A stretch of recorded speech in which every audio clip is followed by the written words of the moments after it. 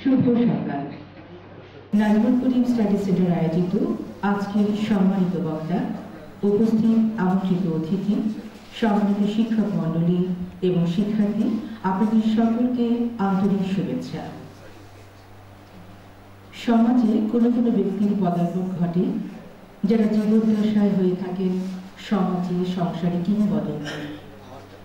একজন মানুষ যত ব্যক্তিত্বপূর্ণ বা বৈশিষ্ট্যতা অর্জন করুক না কেন তার লক্ষ্য থাকে, সমাজকে আধুনিকতার দিকে এগিয়ে নিয়ে যাওয়া। তার সকল ধ্যান, জ্ঞান, তপস্যা থাকে সুন্দর কল্যাণের পথে। মুক্ত বুদ্ধি ও মাঙ্গলিক চিন্তা চেতনায় যার জীবন পরিচালিত।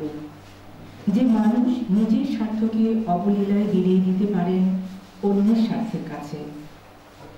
মানুষের মনের গহিনে অবলীলায় বিচরণ করতে পারেন যেই মানুষ, তিনি হচ্ছেন অধ্যাপক সিরাজুল ইসলাম চৌধুরী। সম্মানিত সুধী, আজকের আয়োজনে তেমনি একজন সম্মানিত বক্তাকে আমরা আমন্ত্রণ জানিয়েছি, যিনি বরাবরই আমাদের অনুষ্ঠানে সভাপতির আসন অলঙ্কৃত করেছেন।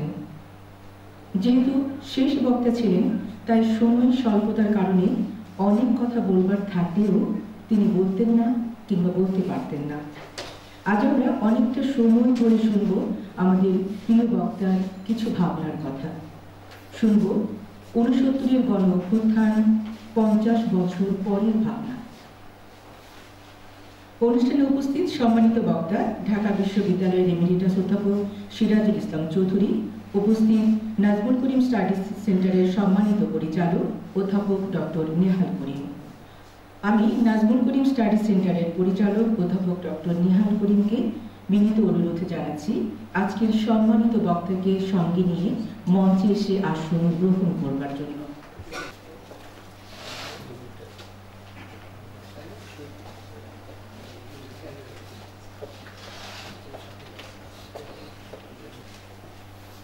সভাপতি সুধী, অনুষ্ঠানের মাননীয় বক্তা, এমিরেটাস অধ্যাপক ডক্টর সিরাজুল ইসলাম চৌধুরীকে এবার ফুলের শুভেচ্ছা জানাব।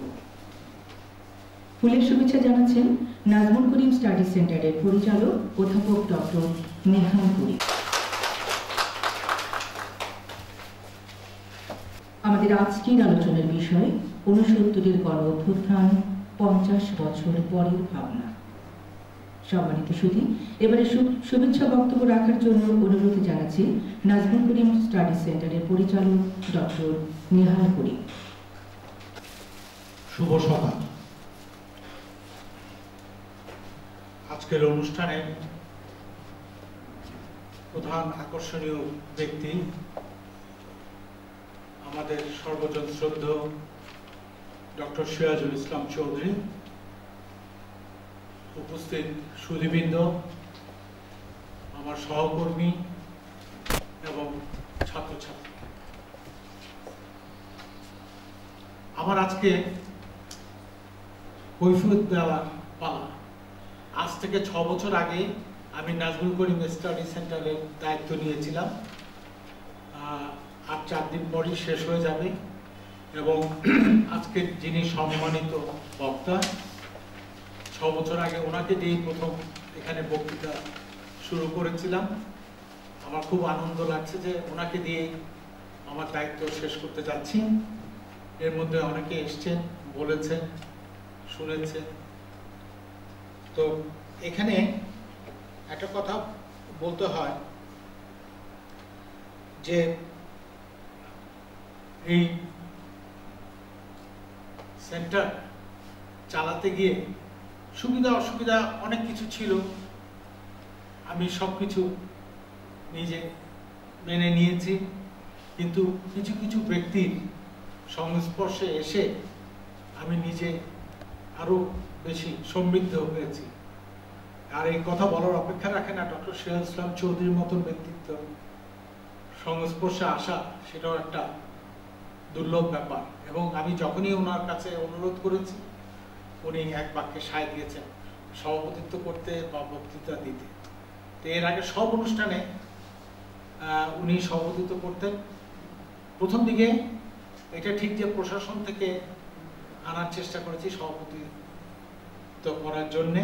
শেষের দিকে সবকটাই আমার শ্রদ্ধেয় ডক্টর শহীদ ইসলাম চৌধুরী দিয়ে অনুষ্ঠান চালিয়ে নিয়েছি আর আজকে আমার কৈফত দেওয়ার যে কথা, সেটা হচ্ছে যে ওনার মতন ব্যক্তির অনুষ্ঠানে সভাপতি কাকে করব সেটা আমি ভেবে পাইনি। আমি খুব দোদুল্যমান অবস্থায় ছিলাম। প্রশাসন থেকে আনব না বাইরের থেকে আনব? তো অত মানে দ্বিধাদ্বন্দ্বের মধ্যে থেকে ঠিক করলাম যে, না, উনি এককভাবে বক্তৃতা দেবেন, আমি শুধু সূচনা বক্তব্য রাখব, ওনার যা কিছু বলার উনি বলবেন। আর বিশেষ করে আজকের যে বিষয় উনসত্তরের গণ অভ্যুত্থান পঞ্চাশ বছর পরে, এটা আমরা সবাই জানি, বিশেষ করে আমরা যারা ষাটোর্ধ আমরা এটা দেখেছি। এর পরবর্তীতে বিভিন্ন সময় গেছে। কিন্তু উনসত্তরে যে গণ অভ্যুত্থান, এটার মতন বোধ হয় অভ্যুত্থান আমরা দেখিনি।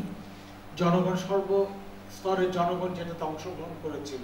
এরপরে আর কোনো অভ্যুত্থান বা কোনো ধরনের সেরকম রাজনৈতিক কর্মকাণ্ড হয়েছে বলে মনে হয় না, যেখানে নাকি সর্বস্তরের জনগণ অংশগ্রহণ করেছিল। এক একাত্তর দেখি আর উনসত্তর দেখি। আমার দেখা মতে এর আগে কি হয়েছে জানি না। যাই হোক, আমি মনে করি এই বিষয়ে উনি যখন আজকে বক্তব্য রাখবেন, ওনার তো অনেক কিছু দেখা আছে, জ্ঞান আছে, পড়া আছে, বিশ্লেষণ আছে আমি মনে করি উনি যে বিষয়ে আলাপ করবেন, যে বিষয়ে প্রবন্ধ উপস্থাপন করবেন, এতে অনেক আমি মনে করি আমাদের চিন্তার খোরাক যোগাবে আমাদের কৌতূহল নিবৃত্ত করবে। সেজন্য আমি আপনাদের সবাইকে ওনার বক্তব্য শোনার জন্যে এবং এখানে আসার জন্যে আপনাদের সবাইকে ধন্যবাদ দিয়ে আমার বক্তব্য শেষ করছি। ধন্যবাদ। ধন্যবাদ। নাজমুল স্টাডি সেন্টারের পরিচালক ডক্টর বিহার করি আপনার শুভেচ্ছা বক্তব্যের জন্য। ঊনসত্তরের বড় অভ্যুত্থান পঞ্চাশ বছর পরের ভাবনা। সম্মানিত সুধী, এই বিষয়ে এবারে বক্তব্য রাখছেন ঢাকা বিশ্ববিদ্যালয়ের এমিরেটাস অধ্যাপক সিরাজুল ইসলাম চৌধুরী। প্রতিভাজন ডক্টর নেহাল করিম এবং উপস্থিত আমার এই বক্তব্যটা এখানে বসে বসে পড়ছি। আসলে প্রবন্ধ ঠিক লেখা হয়নি এসে আমি পরে প্রবন্ধ লিখব। তবে যেটা আমি এখানে করার চেষ্টা করছি, সেটা হলো যে উনসত্তরের অভ্যুত্থান পঞ্চাশ বছর পরে, অর্থাৎ পঞ্চাশ বছর পরে আমরা এই ইতিহাসের দিকে যদি তাকাই, তাহলে সেটা কীভাবে দেখতে পাই? তার একটা ধারণা দেওয়ার চেষ্টা করেছি। দ্বিতীয়ত ওই যে অভ্যুত্থানটা হয়েছিল, সেই অভ্যুত্থানের ভেতরে যে প্রত্যাশা ছিল এবং যে সম্ভাবনা ছিল, আর তার সাথে যে অভিজ্ঞতাটা আমরা সঞ্চয় করেছিলাম, তার আলোকে আমরা আমি দেখতে চেয়েছি যে বর্তমানের অবস্থাটা কি। তো এইভাবেই আমি এটাকে দান করেছি আমার প্রথম ব্যাপারটা হচ্ছে এই যে এই যে উনসত্তরের অভ্যুত্থান, এটা একটা স্বতন্ত্র এর যে ব্যাপকতা এবং এর যে গভীরতা, সেইটে অন্য কোনো অভ্যুত্থান আমাদের স্মরণকালে আমরা দেখিনি এর আগে রাষ্ট্রভাষা আন্দোলনের যে হচ্ছিল, সেটাকেও একটা অভ্যুত্থান করা যায়। এবং সেখানে প্রশ্ন ছিল যে রাষ্ট্রভাষা কি হবে? এখানে রাষ্ট্রর সাথে জনগণের সম্পর্কের কথাটা এসেছিল। এবং এখানে আরেকটা বিষয় ছিল, সেটা হলো যে জাতীয় জাতির প্রশ্ন। জাতির প্রশ্ন, কিন্তু ওখানে আমাদের দেশে দুটো প্রশ্ন খুব জরুরি। একটা হচ্ছে জাতি প্রশ্ন, আরেকটা হচ্ছে শ্রেণি প্রশ্ন। তো এইখানে জাতি প্রশ্নটা এসেছিল বড় হয়ে। শ্রেণি প্রশ্নটা ওইভাবে বড় হয়ে আসেনি।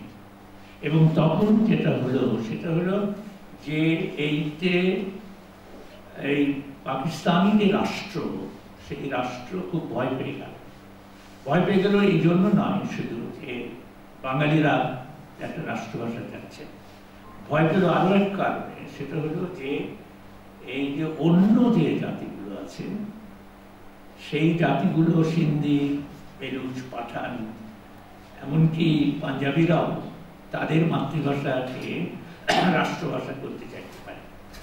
তাহলে তো পাকিস্তান ভেঙে যায়। তো ওই ভয়, ওই ভয়টা ছিল এবং তখন কমিউনিস্ট পার্টি যে কথাটা বলেছিল সেটা খুব গুরুত্বপূর্ণ। কমিউনিস্ট পার্টি বলেছিল যে সকল ভাষা সমান মর্যাদা দিতে হবে। এবং সকল ভাষার যদি সমান মর্যাদা দেওয়া যায়, তাহলে এই উপমহাদেশে এই ভাষা ভিত্তিক যে জাতীয় জাতি তার অন্তত সতেরোটা জাতি ছিল যখন দেশ ভাগ কাজেই ওই যে একটা পাকিস্তান, যে একটা নতুন রাষ্ট্র হলো, সেই রাষ্ট্র তো একটা কোনো জাতি হলো না, এখানে অনেকগুলো জাতি ছিল। এবং এই মোহাম্মদ আলী জেন্না, তিনি এটা বুঝেছিলেন এবং সেই বুঝতে গিয়ে কেমন করে ঐক্যবদ্ধ রাখা যায়, কেমন করে একটা পাকিস্তানি জাতি তৈরি করা যায়, তার জন্যই সম্ভবত তিনি বলেছিলেন যে উর্দুই হবে একমাত্র রাষ্ট্রভাষা তো সেইটা গেল সেই তারপরে আমরা সেই কেন্দ্রীয় শাসন দেখলাম এবং রাষ্ট্রের উদ্বেগ ছিল পাকিস্তান রাষ্ট্রের উদ্বেগ ছিল যে কেমন করে এই একটা ঐক্যবদ্ধ রাখা যায় কেন্দ্রীয় শাসন অব্যাহত রাখা যায় এবং সেই জন্য যারা যেগুলো কাজগুলো করছিল সেটা হলো যে দুটো জিনিস এনেছিল একটা হলো প্যারিটি সংখ্যা সাম্য, আরেকটা হচ্ছে এক ইউনিট এই দুটো খুব তাদের জন্য খুব গুরুত্বপূর্ণ ছিল রাষ্ট্রের জন্য যে যদি সংখ্যা সাম্য না আসে, তাহলে পূর্ব পাকিস্তানের মানুষ যে ছাপ্পান্ন জন আর ওখানে যে চুয়াল্লিশ জন, এই ছাপ্পান্ন জন ওই চুয়াল্লিশ জনের উপরে কর্তৃত্ব করবে। আবার যদি ওয়ান একটা ইউনিটে আনা যায়, সমস্ত পশ্চিম পাকিস্তানে তাহলে পাঞ্জাবি শাসন ওখানে প্রতিষ্ঠা করা যায়। এবং পাঞ্জাব ছিল পাকিস্তানের কেন্দ্রে। এবং ওই যে পাকিস্তান শব্দের বা নামের মধ্যে প্রথম শব্দটাই পি সেটা পাঞ্জাবের। তো এই জন্য এই দুটো জিনিস তারা আনতে চেয়েছে। ওই সংখ্যা সাম্য এবং এক এবং এইটি আনার জন্যই তারা তৎপর ছিল এবং আমরা জানি যে বাঙালিদের নেতা পূর্ববঙ্গের তিনি নেতৃত্ব দিচ্ছেন, সেই হোসেন শহীদ সারওয়াতিকে তারা নিয়ে নিয়েছে। তারা তাকে আইনমন্ত্রী করেছে প্রথমে। আইনমন্ত্রী করে তার সাহায্যে এই সংবিধানটা পাশ, এই এই সংবিধান, নতুন সংবিধান সে তৈরি করিয়ে নিয়েছে, পাশ করিয়ে নিয়েছে। তারপরে তাকে প্রধানমন্ত্রীও করেছে। কিন্তু যেটা ঘটলো সেটা হলো যে এই জায়গাটাতে পূর্ববঙ্গ সন্তুষ্ট হতে পারল না স্বভাবত এবং পশ্চিম পাকিস্তানের যে যারা ক্ষুদ্র জাতিগুলো, তারাও সন্তুষ্ট হতে পারে। এখন যেটা দেখা যাচ্ছিল যে এই, এর পরে যে সর্বাধিক যেটা বলতেন যে যদি আমি এই সংবিধান না পাস হয়, তাহলে সামরিক শাসন আসবে। কিন্তু সামরিক শাসন এসে গেল, তার এই সংবিধান পাশ হওয়ার পরে। তো যেহেতু তখন একটা নির্বাচনের কথা এসছে, সংবিধান হয়েছে, নির্বাচন হতে হবে। কাজেই এই যে তারা, যে রাষ্ট্রের যারা কর্তা তারা সেইটা চাইল না, সেই জন্য তারা সামরিক শাসন এখন পাকিস্তান রাষ্ট্রের চরিত্রটা কিছু এই চরিত্র নিয়ে অনেক বিতর্ক আছে। আমাদের দেশে যে পিসিপি এম এল তারা যে বলছেন আধা সামন্তবাদী আধা উপনিবেশবাদী বা আধা উপনিবেশবাদী আধা সামন্তবাদী সেটা একটা ধারণা আছে। কিন্তু আসলে পাকিস্তান রাষ্ট্রের চরিত্রটা ছিল আমলাতন্ত্রের এবং পুঁজিবাদ।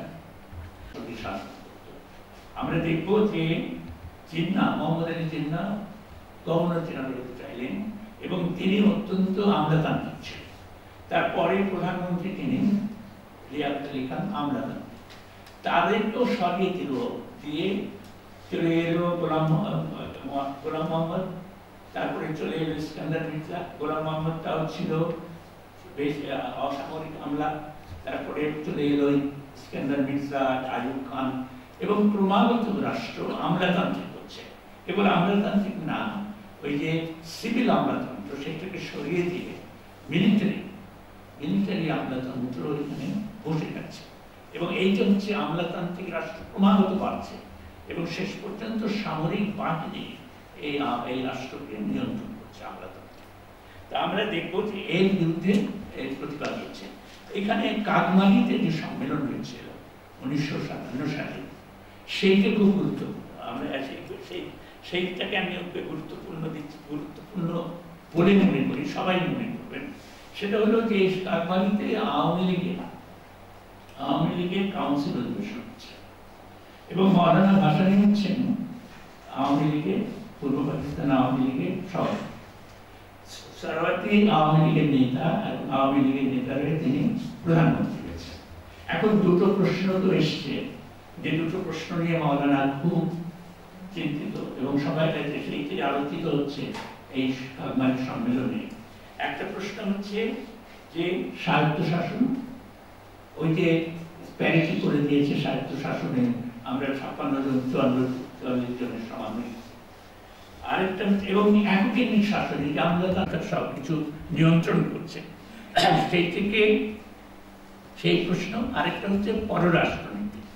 যে পাকিস্তান শুরু থেকে মার্কিনদের সাথে সম্পর্ক ছিল এবং ক্রমাগত মার্কিনী যে অনুপ্রবেশ নানানভাবে এটা ঘটছিল এবং আইয়ুব খানের যে রাজত্ব শুরু হলো সেটা একটা পুরোপুরি আমেরিকার দ্বারা নিয়ন্ত্রিত।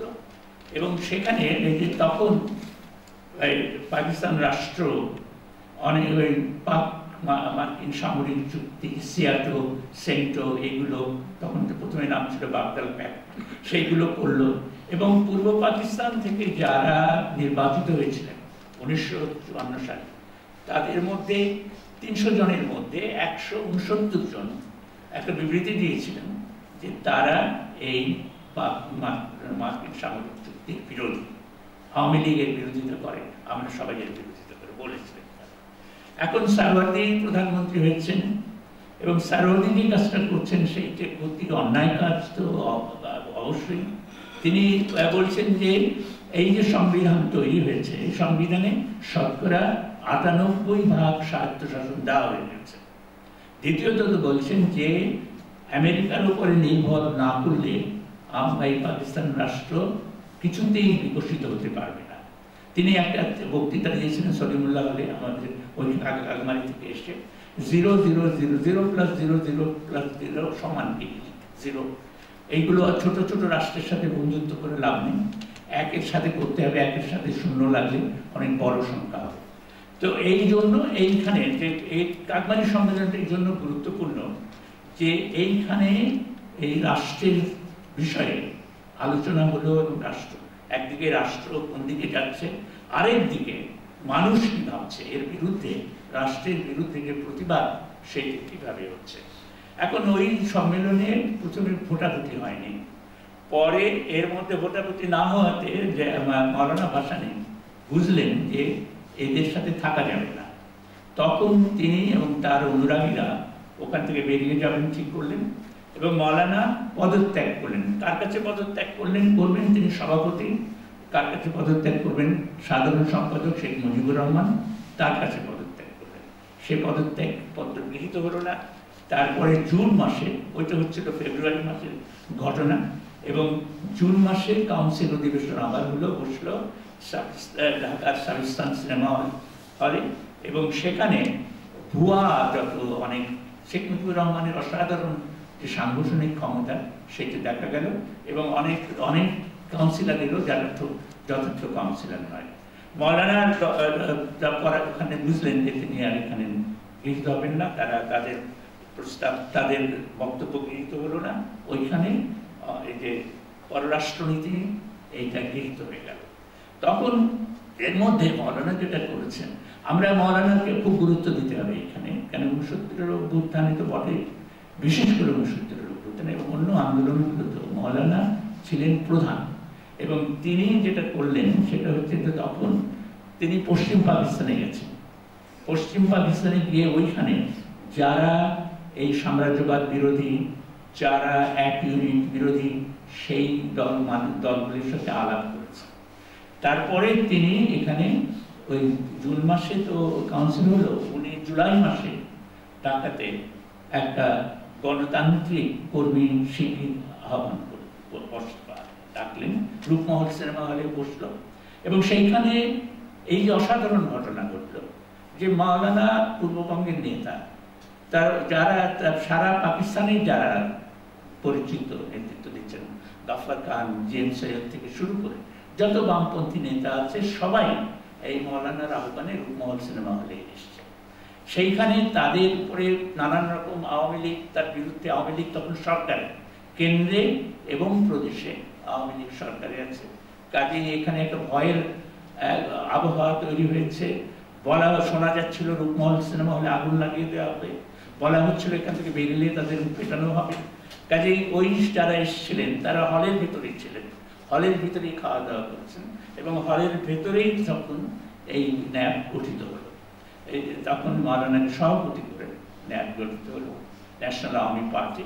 এবং সেখান থেকে জনসভা করার জন্য তারা যাচ্ছেন, হেঁটে হেঁটে যাচ্ছেন পল্টনে। এবং সেইখানে তাদের উপর রাস্তায় আক্রমণ হয়েছে। পুলিশ দাঁড়িয়ে দাঁড়িয়ে দেখেছে, মঞ্চ ভেঙে দেওয়া হয়েছে, ঢিল ছোড়া হয়েছে।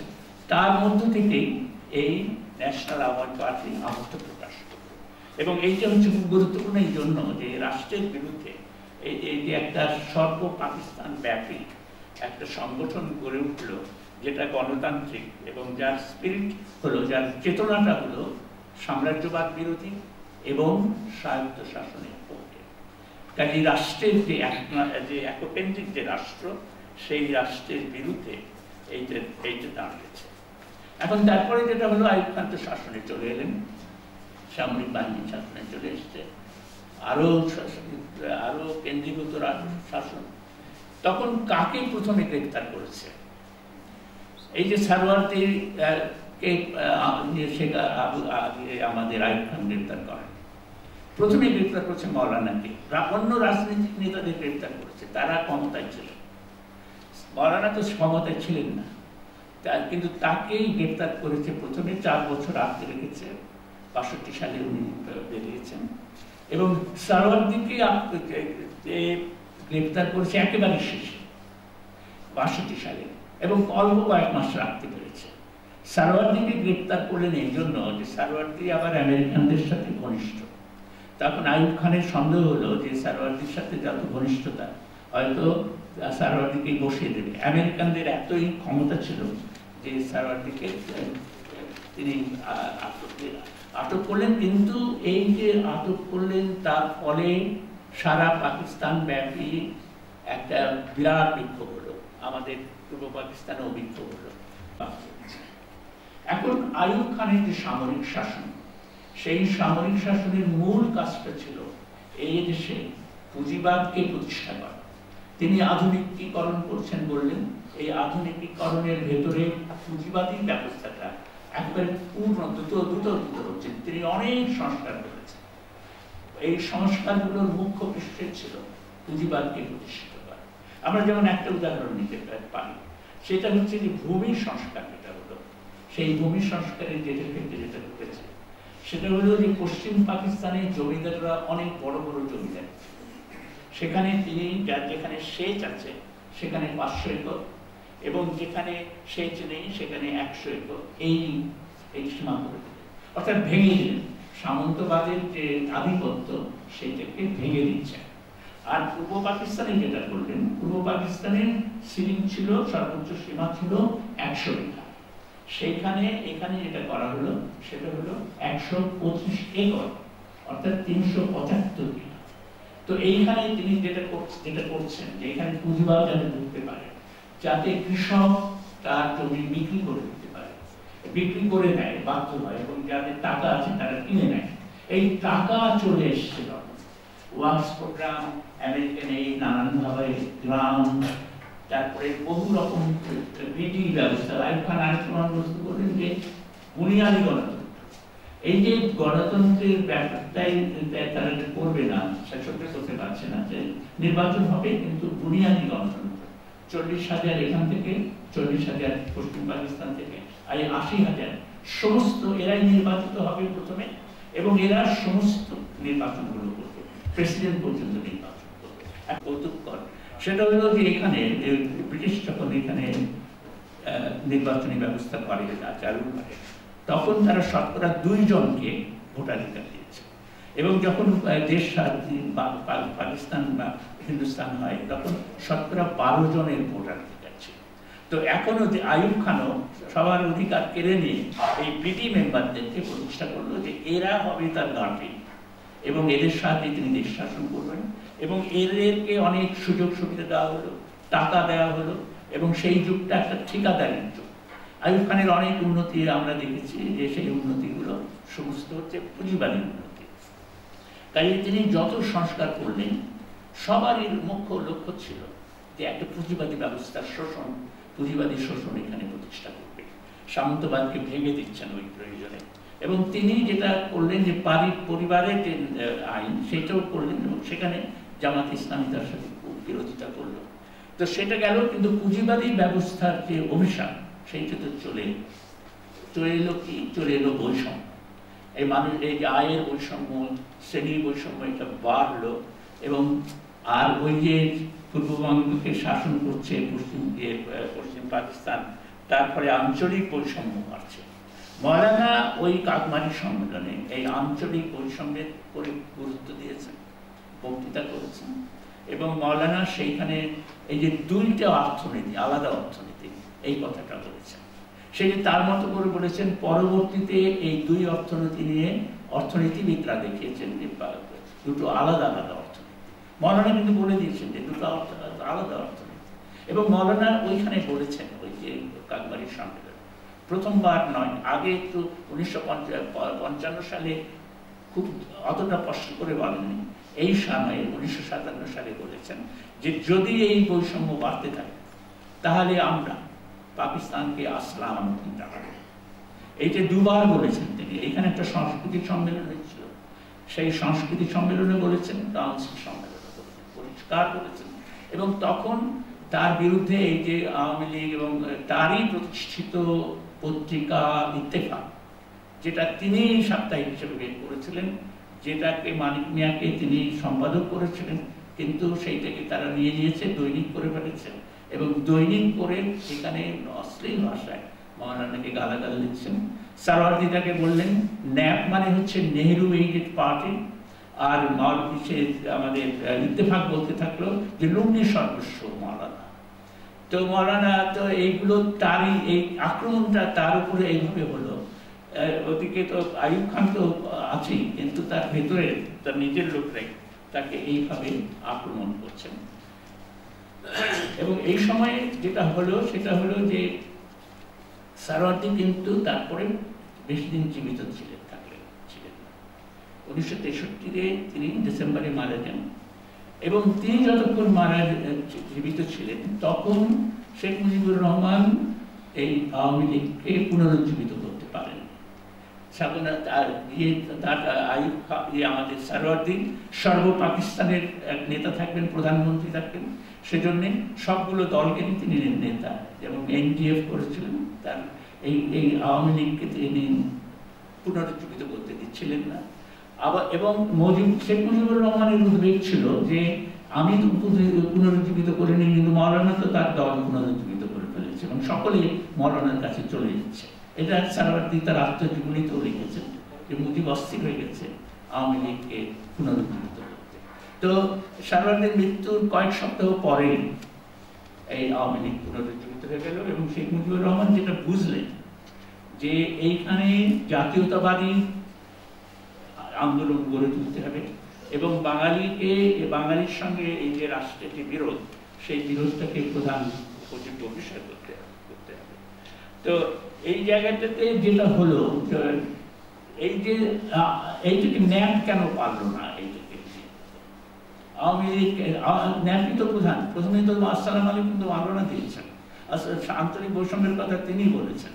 ন্যাপ পারল না, একাধিক কারণে। একটা কারণ তো হচ্ছে যে রাষ্ট্রের যে নিপীড়ন সেটা তো আছেই, সেটা তো মালানা তো তাকে জেলে নিয়ে গেল চার বছর আটকে রাখল।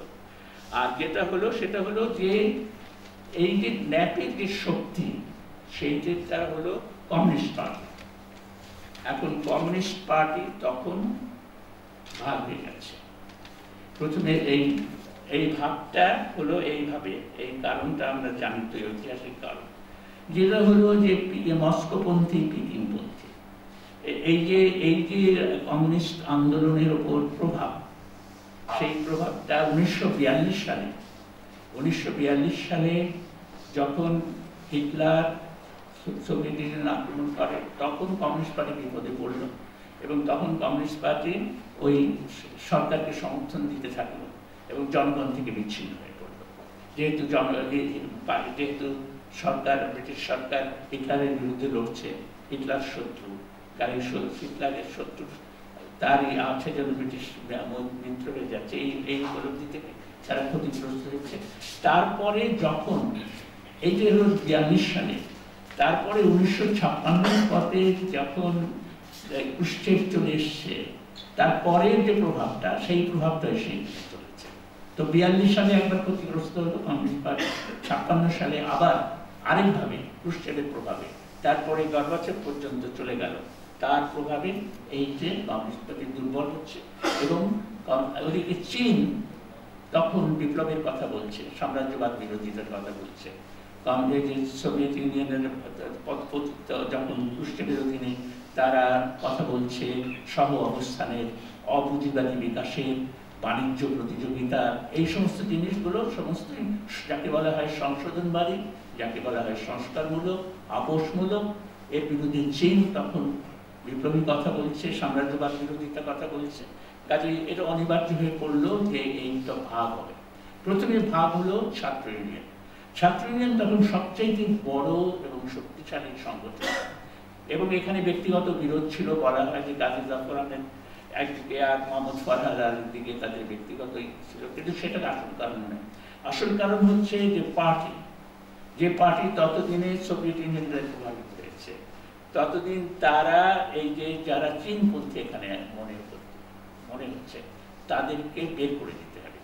সেজন্য প্রথমে ভাগটা হলো ছাত্র ইউনিয়নের, তারপরে ভাগ হলো পার্টির, তারপরে শেষ পর্যন্ত ভাগ হয়ে গেল ন্যাক ন্যাক ছিল তখন সবচাইতে বড় পার্টি, সবচাইতে শক্তিশালী পার্টি, এবং একমাত্র মুসলিম লীগ তো তখন খালি হয়ে গেছে, একমাত্র সারা পাকিস্তান জুড়ে।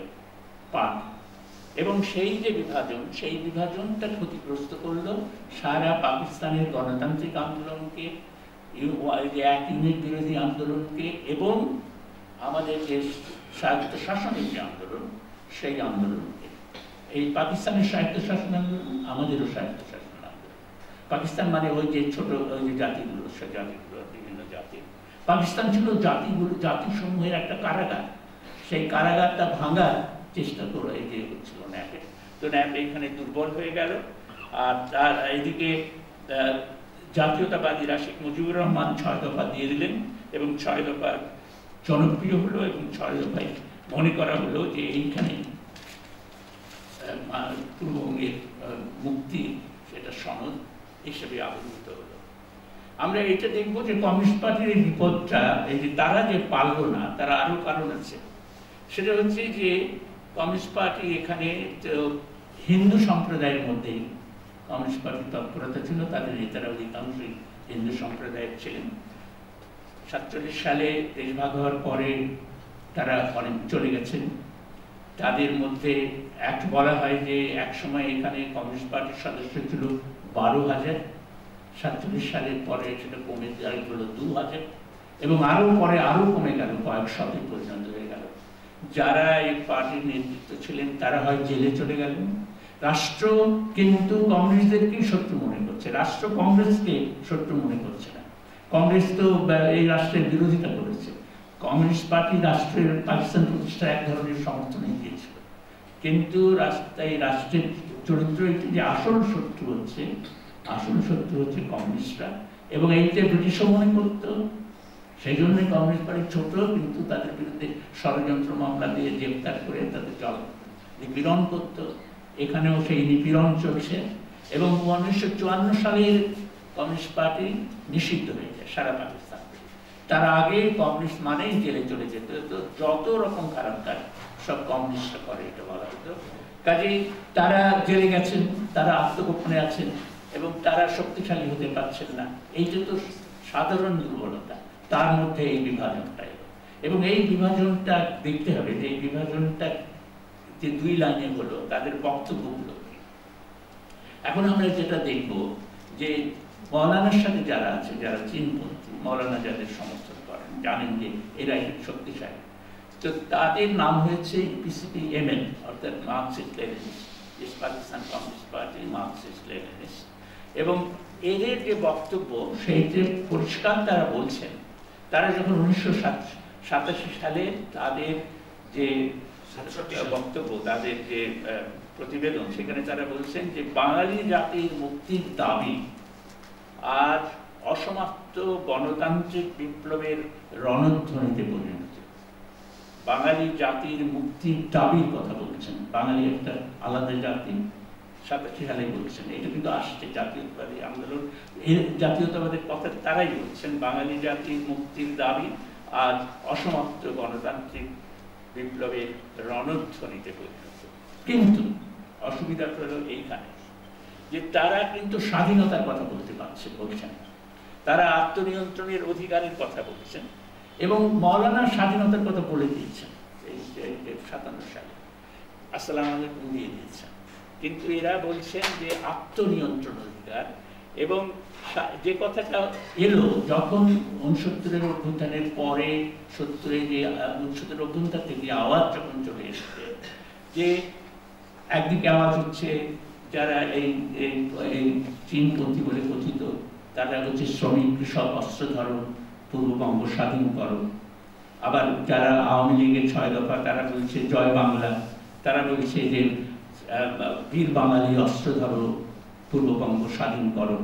স্বাধীনতার কথা তারা বলে যাচ্ছে এবং দুই পক্ষই বলছে এবং জোরে জোরে বলছে। সেইখানে এই যে পিসিপিএমএল এর আওয়াজটা দুর্বল হয়ে গেছে। তারা বলছেন, পূর্ব পাকিস্তানের পূর্ণ আত্মনিয়ন্ত্রণের দাও। এইটা মানুষ তো ওইভাবে নেবে না মানে যে স্বাধীন করো, এই কথা তো এখানে আসে নাই। দ্বিতীয়ত তারা বলছেন যে কৃষকের হাতে জমি দিতে হবে। ঠিক আছে, ঠিক কথা। কিন্তু এইটা তো তখনকার আওয়াজ না, তখনকার আওয়াজ হচ্ছে যে শোষণ, আমরা নিপীড়িত হচ্ছি, পাঞ্জাবিদের দ্বারা, পাঞ্জাবিরা আমাদের শেষ করে দিচ্ছে, তা আমাদের, তাদের হাত থেকে মুক্ত হতে হবে। তো ওই যে তারা না বলতে পেরে এক সুবিধায় পড়ে গেলেন। আরেকটা মুশকিল হলো, রাষ্ট্র সম্পর্কে, রাষ্ট্রের রাষ্ট্রের রাষ্ট্রের চরিত্র সম্পর্কে। এখন ইপিসিপিএমএল যে কথাটা বলছে, যে রাষ্ট্রের তিনটে বড় শক্তি আছে এবং তিনটে জনগণের শত্রু, তারা মিলে একসাথে রাষ্ট্র চালায় এবং জনগণের বিরুদ্ধে তারা আছে। একটা হচ্ছে মার্কিন সাম্রাজ্যবাদ, আরেকটা হচ্ছে সামন্তবাদ, আরেকটা হচ্ছে বড় পুঁজি। এই তিনটে মিলে আমাদের শোষণ করছে। এখন এই সামন্তবাদের প্রশ্নটা খুব বিতর্কমূলক। যে রাষ্ট্র কিন্তু পুঁজিবাদী হয়ে যাচ্ছে, রাষ্ট্র আমলাতন্ত্র হচ্ছে। এইখানে তারা যে কথাটা বলছেন যে কৃষি বিপ্লব করতে হবে। তো কৃষি বিপ্লব করতে হবে কেননা এখানে সামন্তবাদ আছে, কিন্তু সামন্তবাদ নেই, ক্রমাগত দুর্বল হয়ে আসছে। আর যেটা বললেন যে তারা এই তিন শত্রুকে একসাথে আক্রমণ করবে। এখন তিন শত্রুকে, এখানে তারা আবার মাও সেতুংয়ের মাওবাদী মনে করেন, মাও সেতুংয়ের অনুসরণ মনে করেন। কিন্তু মাও বলেছিলেন যে সমাজে, একটা সমাজে অনেকগুলো দ্বন্দ্ব থাকে। কিন্তু একটা দ্বন্দ্ব প্রধান হয়ে ওঠে। এবং সেই প্রধান দ্বন্দ্বটাই আগে মোকাবেলা করতে হবে। তো তখন ওই সময় প্রধান দ্বন্দ্ব হয়েছিল, ছিল এই যে পাঞ্জাবি শাসক, আমলাতান্ত্রিক শাসক, যারা যারা পাঞ্জাবি ঘটনাক্রমে তাদের সাথে বাঙালিদের জাতির মুক্তির প্রশ্নটা এই কথাটা সিরাজ শিকদার তরুণ বয়সে তখন তিনি এই ধারাতেই ছিলেন। কিন্তু তিনি উত্থাপন করেছিলেন যে প্রধান দ্বন্দ্ব কোনটা প্রধান দ্বন্দ্বটা তো হচ্ছে এটি যে পাকিস্তানি রাষ্ট্র, যে রাষ্ট্র পাঞ্জাবিদের দ্বারা পরিচালিত, সেই রাষ্ট্র বাঙালিদেরকে শোষণ করছে। তাই এইটা মীমাংসা করতে হবে। তো এইটা না করে তারা পিছিয়ে রাখে, পিছিয়ে হটে যাচ্ছেন এবং সেইখানে সেজন্য নেতৃত্বটা চলে যাচ্ছে। ওই যে মহারানা যেটা শুরু করছে না কাকমানি সম্মেলনে যেটা শুরু হয়েছে, সেইটা থাকছে না। সেইটা চলে যাচ্ছে জাতীয়তাবাদীদের হাতে। সেটা সেটা চলে যাচ্ছে মানে আওয়ামী লীগের হাতে। এখন ইউপিসিপি যেটা, ইস্ট পাকিস্তান কমিউনিস্ট পার্টি, তারা তখন যেটা করছেন, সেটা হচ্ছে তারা সারা পাকিস্তান ব্যাপী, সারা, তার সারা পাকিস্তানেই বিপ্লব করবেন, এটা ভাবছেন। এর এইটির অসুবিধা হলো যে এই পার্টি এই পার্টি পাকিস্তান রাষ্ট্রটাকে মেনে নিয়েছেন এবং এর বিরুদ্ধে সারা পাকিস্তান শ্রমিক এবং কৃষক মিলে এইটাকে ভাঙবে তো সারা পাকিস্তানদের করতে হবে এই জন্য তাদের যুক্তিটা চিন্তাটা হয়তো এই ছিল এই রকমের যে শ্রমিক শ্রেণীকে তো বিভক্ত করা যাবে না। এখন পূর্ব পাকিস্তানের শ্রমিক আর পশ্চিম পাকিস্তানের শ্রমিক একসাথে এবং তারা আরেকটা কথা বলছেন যে, জাতীয়তাবাদী চেতনা যদি উগ্র হয়ে ওঠে, তাহলে উগ্র জাতীয়তাবাদী হবে, শ্রেণির চেতনা তখন দুর্বল হয়ে যাবে। আবার যেটা হবে, সেটা হলো যে, দেশনি যে শোষণ, তাকে না চিনে মনে করবে যে, ওই যে অন্য দেশের পশ্চিম পাকিস্তানের যে শ্রমিক, সেই আমার পর, সেই আমার সূত্র তো এই সমস্ত যুক্তি দিয়ে তারা যেটা করছেন যে, সেটা তারা এই আন্দোলনে থাকতে পারছে না। তারা তারা, তাদের তাদের এখানে আসছে না। এমনকি তারা এই যে উনিশশো আটষট্টি, উনসত্তরের অভ্যুত্থানে যাব আমরা, সেখানে সেখানে চলছে সেই বিক্ষোভ তৈরি হচ্ছে সেইখানে তারা যেটা বলছেন, সেটা হচ্ছে যে বাঙালি জাতীয়তাবাদ সম্পর্কে সতর্ক থাকতে হবে। পার্টির সদস্যদেরকে সতর্ক করে দিচ্ছেন যে বাঙালি জাতীয়তাবাদ সম্বন্ধে সতর্ক থাকতে হবে।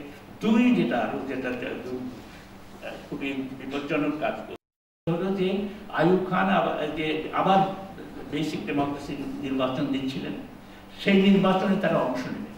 উনিশশো আটষট্টি সালে অংশ নেবে এইটা ভাবছে তো এইটা তো তারা আবার বিচ্ছিন্ন হয়ে পড়ছেন। তো এই জন্য কমিউনিস্ট পার্টিরগুলো পারল না। তারা তাদেরকে পিছিয়ে যেতে হলো তখন যেটা হয়েছে যে মনি এই যখন ভাগ হলো দুই পার্টি তখন ওয়ার্কিং কমিটিতে সেন্ট্রাল কমিটিতে এগারো জন সদস্য ছিল। নয় জন হচ্ছেন মস্কোপন্থী পরিচিত, বলে যারা পরিচিত, আর দুজন হচ্ছেন পিকিংপন্থী তো যেটা দাঁড়াল যে মনি সিং তখন বলেছিলেন এই কথাটা যে, আমরা, ঠিক আছে, আমরা, তোমরা ভাগ হয়ে গেলে, কিন্তু তোমরাও আবার ভাগ হবে। সেটা সত্য হয়েছে যে তারপরে ওই যারা মস্কোপন্থী পিকিং পন্থীরা অনেক ভাগে ভাগ হয়ে গেছে, সেটা আমরা দেখেছি। কিন্তু যে মনি সিংয়ের যে পার্টি তাদেরও বিপদ। তারা হলো যে তাদের মধ্যে, তারা পরে ভাগ হয়েছে আমরা ইয়ে একানব্বই সালে যে দুই ভাগ দেখেছি, বিলোপবাদীদের দেখলাম, তারা বাকশালে চলে যাচ্ছে দেখলাম, এবং ওই যে বেসিক ডেমোক্রেসির ইলেকশনে অংশ নেবে, তখনও মতবিরোধ তৈরি হচ্ছে। তখনও কেউ অনেকে ছিলেন যারা এটা পছন্দ করেন নাই, তারা নিষ্ক্রিয় হয়ে গেছে। তো এই বিভাজনগুলো হলো, মূল কথাটা হলো যে জাতীয়তাবাদীরা পারছে না জাতীয়তাবাদীরা এগিয়ে যাচ্ছে, আর বামপন্থীরা পিছিয়ে যাচ্ছে, সেইটা হলো। আর এর মধ্যে আমরা দেখছি যে একটা প্রসঙ্গ এখানে আসবে। সেটা হচ্ছে মৌলানার সঙ্গে শেখ মুজিবুর রহমানের সম্পর্ক। এই সম্পর্কটা খুব স্নেহের খুব গভীর, আন্তরিকতার, যেন একই পরিবারের সদস্য। কিন্তু রাজনৈতিকভাবে তারা দুই লাভ পথে এবং এইটা যেন একই পরিবারের যেমন দুই ভাই দুদিকে যায় বা দুই সদস্য দুদিকে যায়, ওই রকমের এমন এমন পার্থক্য যে এইটাতে আর মিলবার কোনো জায়গা ছিল না। শেখ একসাথে ছিলেন মৌলানা সভাপতি শেখ মুজিবুর রহমান, শেখ সাধারণ সম্পাদক, তার খুবই প্রিয়। তারই, তার তিনি হিসাবে সেক্রেটারি করেছেন। তাদের যৌথ নেতৃত্বে পার্টি আওয়ামী মুসলিম লীগ, আওয়ামী লীগ হয়েছে মুসলিম বাদ লীগ কিন্তু যখন ওই যে সারওয়ার্দির যে ধারা, সেই যে, সেই ধারা পুঁজিবাদী ধারা, সেই ধারাতে মুজিবুর রহমান রয়ে গেছে। মৌলানা ওই ধারাতে তো নেই, তিনি অন্য ধারাতে। কাজেই আবার যে উনসত্তরের অভ্যুত্থানের সময়ে এই যে শেখ মুজিবুর রহমান কারাগারে আবদ্ধ আছেন আগরতলা রামদাস ষড়যন্ত্র, তার ফাঁসি হবে, এই সমস্ত কথা বলা হচ্ছে। তখন মৌলানার কারণে এই আন্দোলনটা হচ্ছে। উনসত্তরের অভ্যুত্থানের নায়ক হচ্ছেন মৌলানা এবং তিনি যে ষোলোই ষোলোই ফেব্রুয়ারি তিনি যে বক্তৃতা দিয়েছিলেন আগুন ঝরা বক্তৃতা অর্থনে তিনি বলেছেন যে যদি একজন শেখ মুজিবকে যদি না ছাড়া হয়, তাহলে আমরা যে, আমরা জনগণ গিয়ে ক্যান্টনমেন্ট আক্রমণ করবে এবং ফরাসি বিপ্লবের সময় যেমন বাস্তিন দুর্গের পতন হয়েছিল সেই রকম পতন এই যে কথাগুলো বলছেন, এই যে মানুষ তৈরি হচ্ছে এই কারণেই আগরতলা মামলা প্রত্যাহার করা হলো, শেখ মুজিবকে ছেড়ে দেওয়া হলো। শেখ মুজিবের কথা ছিল যে তিনিও তার উপরে সম্মত প্রায় করেই ফেলা হয়েছিল যে তিনি প্যারোলে যাবেন গোল টেবিলে। তো এখানে এই কারণে মৌলানার এই কারণে সেই সমস্ত সেটা হলো, দরকার হলো না।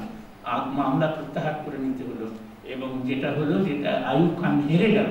এটা মর্মান্তিক পরাজয় আয়ুব খানের যে আগরতলা মামলা প্রত্যাহার করে নিচ্ছে রাষ্ট্রদ্রোহের মামলা এবং সেই মামলা পাকিস্তানকে ধ্বংস করবে এই শক্তি।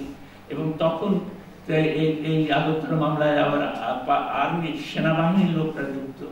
সামনে শেখ মুজিবুর রহমান এক নম্বর আসামি, অন্যরা সেনাবাহিনীর লোকরা অভিযুক্ত। সেইটাকে তিনি প্রত্যাহার করে নিচ্ছেন। আয়ুব খানের হিসাবটা ছিল অন্যরকমের। আয়ুব খান উনিশশো পাকিস্তান হওয়ার প্রতিষ্ঠার পরে একান্ন সালে, উনিশশো একান্ন সালে রাওয়াল রাওয়ালপিন্ডি ষড়যন্ত্র মামলা হয়েছে সেখানে অভিযুক্ত, প্রধান অভিযুক্ত ছিলেন তিনি ইয়ের সেনাবাহিনীর প্রধান হওয়ার কথা, মেজর জেনারেল আকবর। তো মেজর জেনারেল আকবর ওইটার প্রধান হতে করবেন তিনি একটা ষড়যন্ত্র করছেন, এইরকম তিনি করছিলেন আলাপ আলোচনা করছিলেন, তার আবার একটু স্ত্রী আবার কমিউনিস্ট পার্টির সাথে যুক্ত ছিলেন।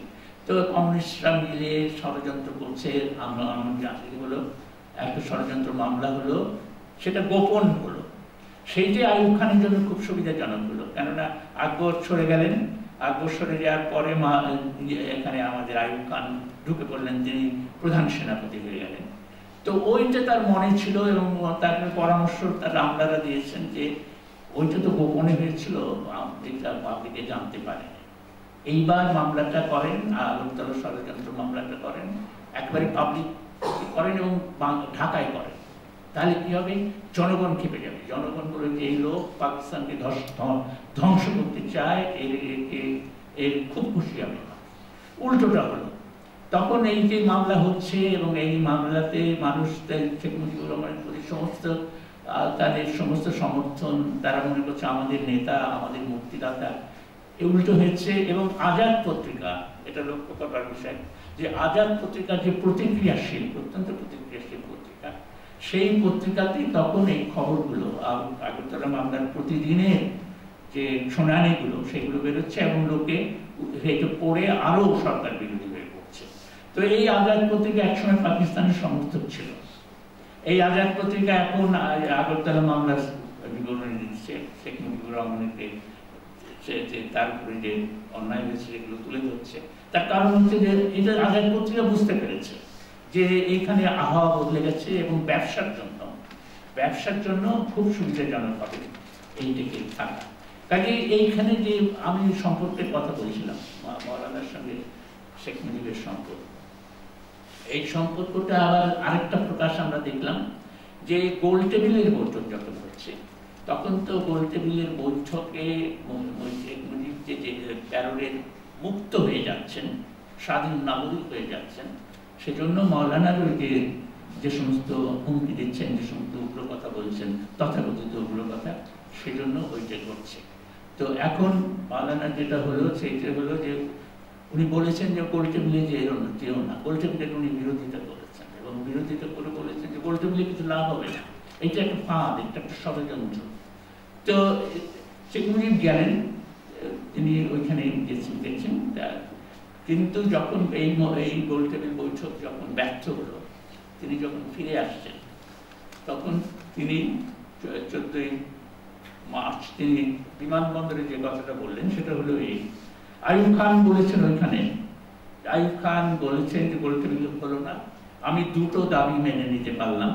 সেই দুটো দাবি হচ্ছে ট্যাগ বলে ডেমোক্রেটিক অ্যাকশন কমিটি যার কথা একটু পরে আমি বলব। সেই ট্যাগ যেটা দুটো দাবি, দাবিগুলোর মধ্যে দুটো দাবি আমি মানতে পারলাম, যেটার ভেতরে সকলে একমত।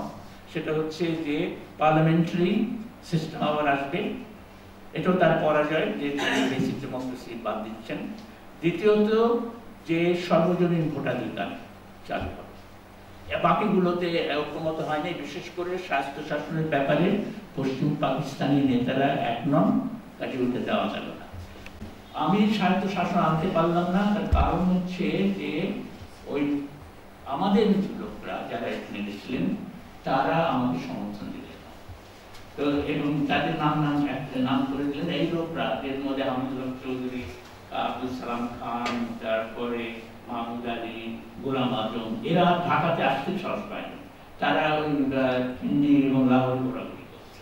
আর তিনি বললেন যে, আমি তো ভাবতাম মৌলানা সাহেবের যাওয়া উচিত ছিল মৌলানা সাহেব এখন অপশন না তো এইটাই খুব একটা অপ্রত্যাশিত কথা ছিল এবং মৌলানা নিশ্চয়ই আশা করে তো এই এই যে ঘটনাটা ঘটলো, সেই ঘটনাটার মধ্যে দিয়ে আবার বোঝা গেল যে রাজনৈতিক ভাবে তারা কেমন করে আলাদা তো এখন আমি আবার উনসত্তর চলে যাই। ঘটনাটা আপনার এখানে আমি বিশদ বর্ণনা দেব না, এটা আপনারা হয়তো জানেন, আর এমনি অনেক বই বেরিয়েছে লেখা এটা শুরু হলো কীভাবে?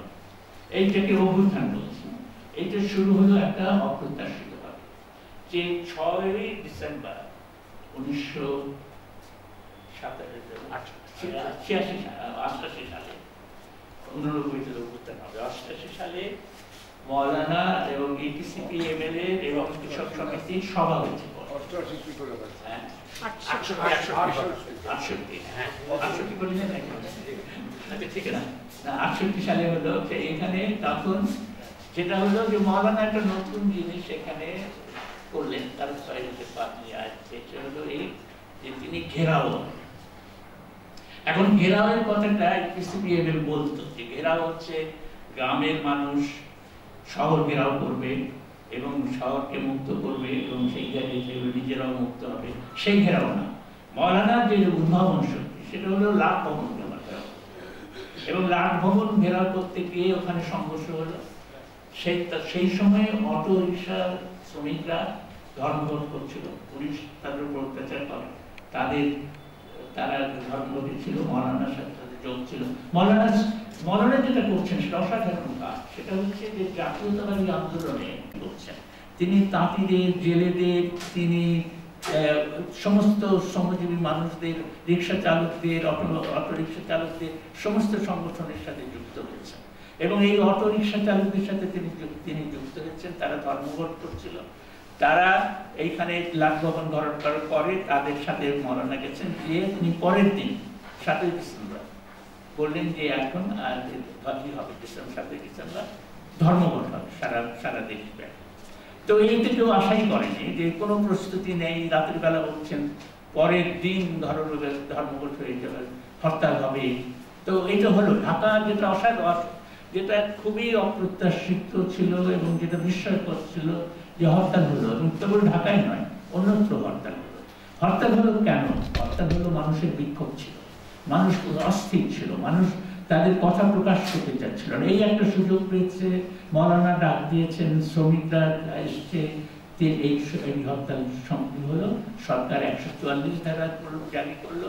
মৌলানা আরেকটা অসাধারণ কাজ করলেন সেদিন। সেদিন হলো যে সেদিন তিনি রিক্সা করে এসে বাইতুল মুকাররমে ওইখানে একশো চুয়াল্লিশ ধারা আর্মির লোকরা দাঁড়িয়ে আছে, পুলিশ দাঁড়িয়ে ওর মধ্যে উনি দাঁড়িয়ে গায়েবী জানাজা করলেন, গায়ে গায়েবী একটা জানাজা করলেন। তারপরে তিনি চলছেন প্রসেশন করে বেরিয়ে যাচ্ছেন, একশো চুয়াল্লিশ ধারা ভঙ্গ করবেন।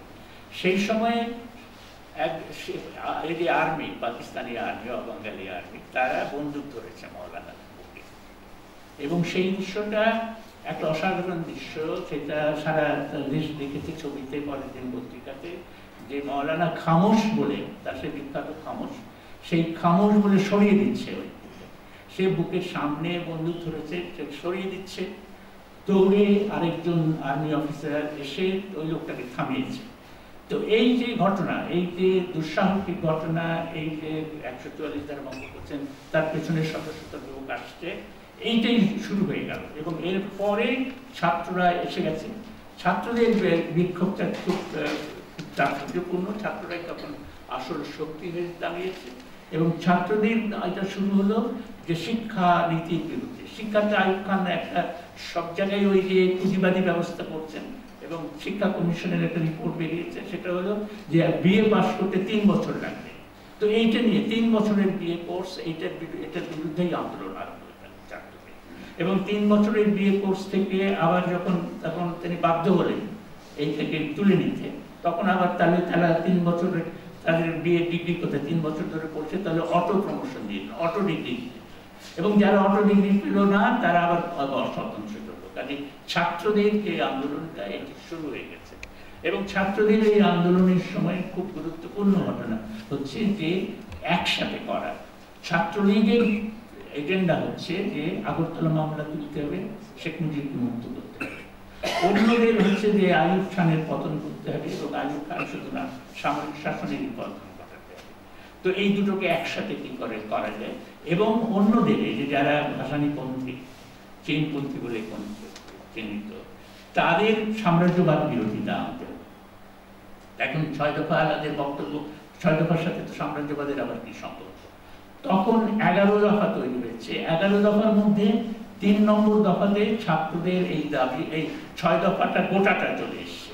তারপরে ছাত্রদের দাবি আছে, শ্রমিকদের কথা আছে, শ্রেণির কথা আছে, তারপরে স্বায়ত্ত শাসনের কথা আছে।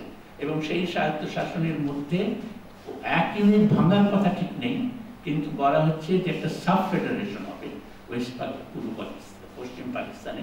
অর্থাৎ সেখানে ওই যে লাহোর রাজধানী থাকবে, লাহোরের উপরে কর্তৃত্ব সমস্ত তাদের উপর সেইটা থাকবে না, পূর্ণ স্বায়ত্ত শাসন সহ সাব ফেডারেশন তার মানে প্রত্যেকটা প্রদেশ তার স্বায়ত্ত শাসন পাবে। তো লাহোর আবার ওইভাবে কর্তৃত্ব করতে পারবে না। তো এই জায়গাগুলোতে এগারো দফা চলে এসছে। এখন এগারো দফা আসার পরে যে ঘটনা ঘটলো এগারো দফা এসছে চৌঠা জানুয়ারি।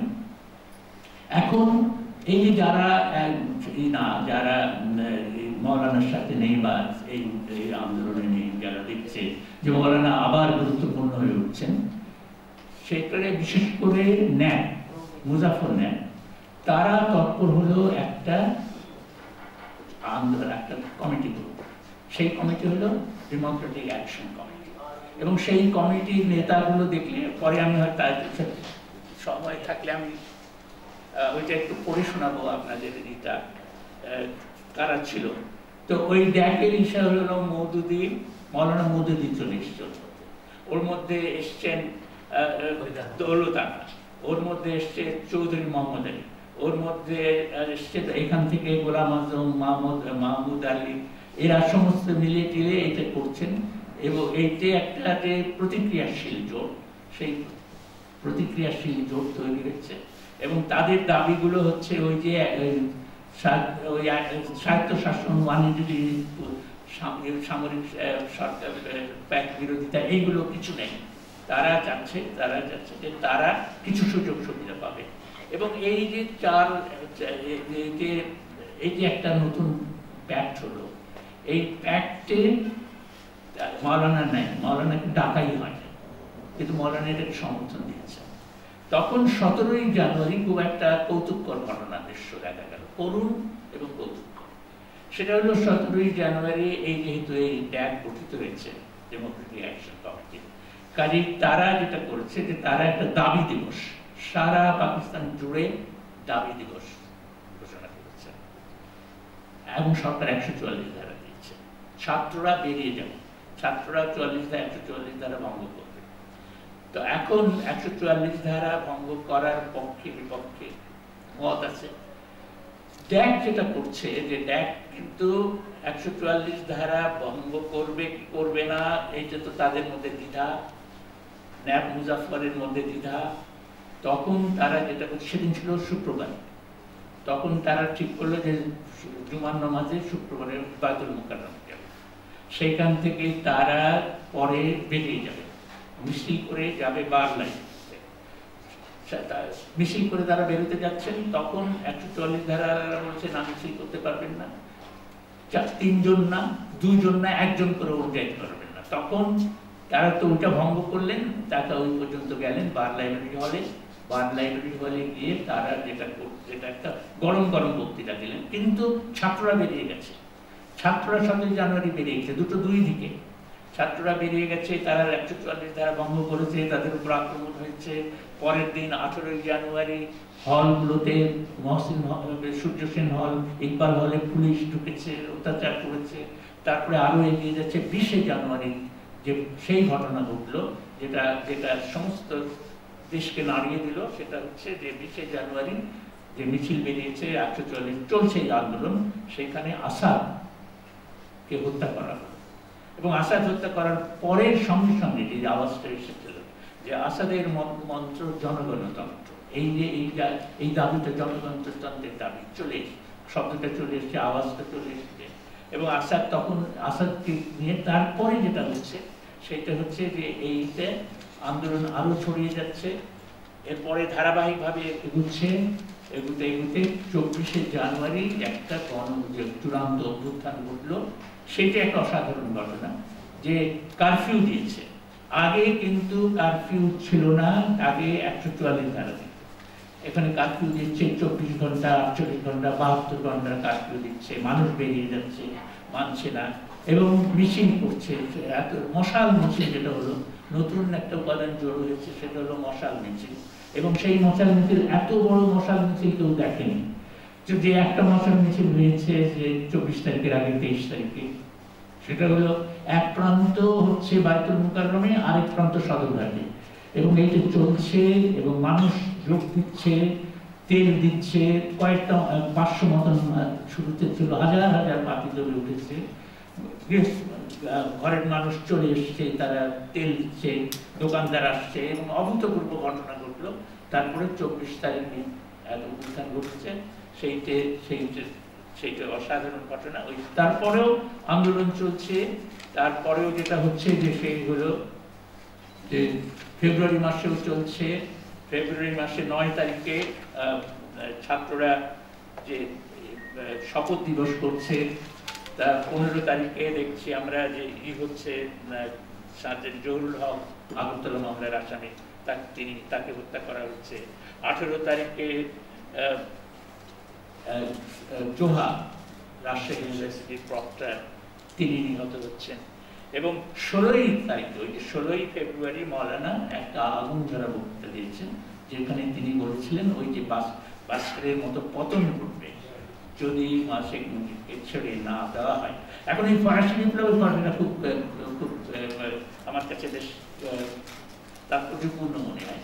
যখন আঠারোশো সাতান্ন সালে অভ্যুত্থান হয়েছিল সিপাহী সেই সময়ে ইংরেজরা উৎসাহী হয়ে কংগ্রেস প্রতিষ্ঠা করল, আঠারোশো পঁচাশি।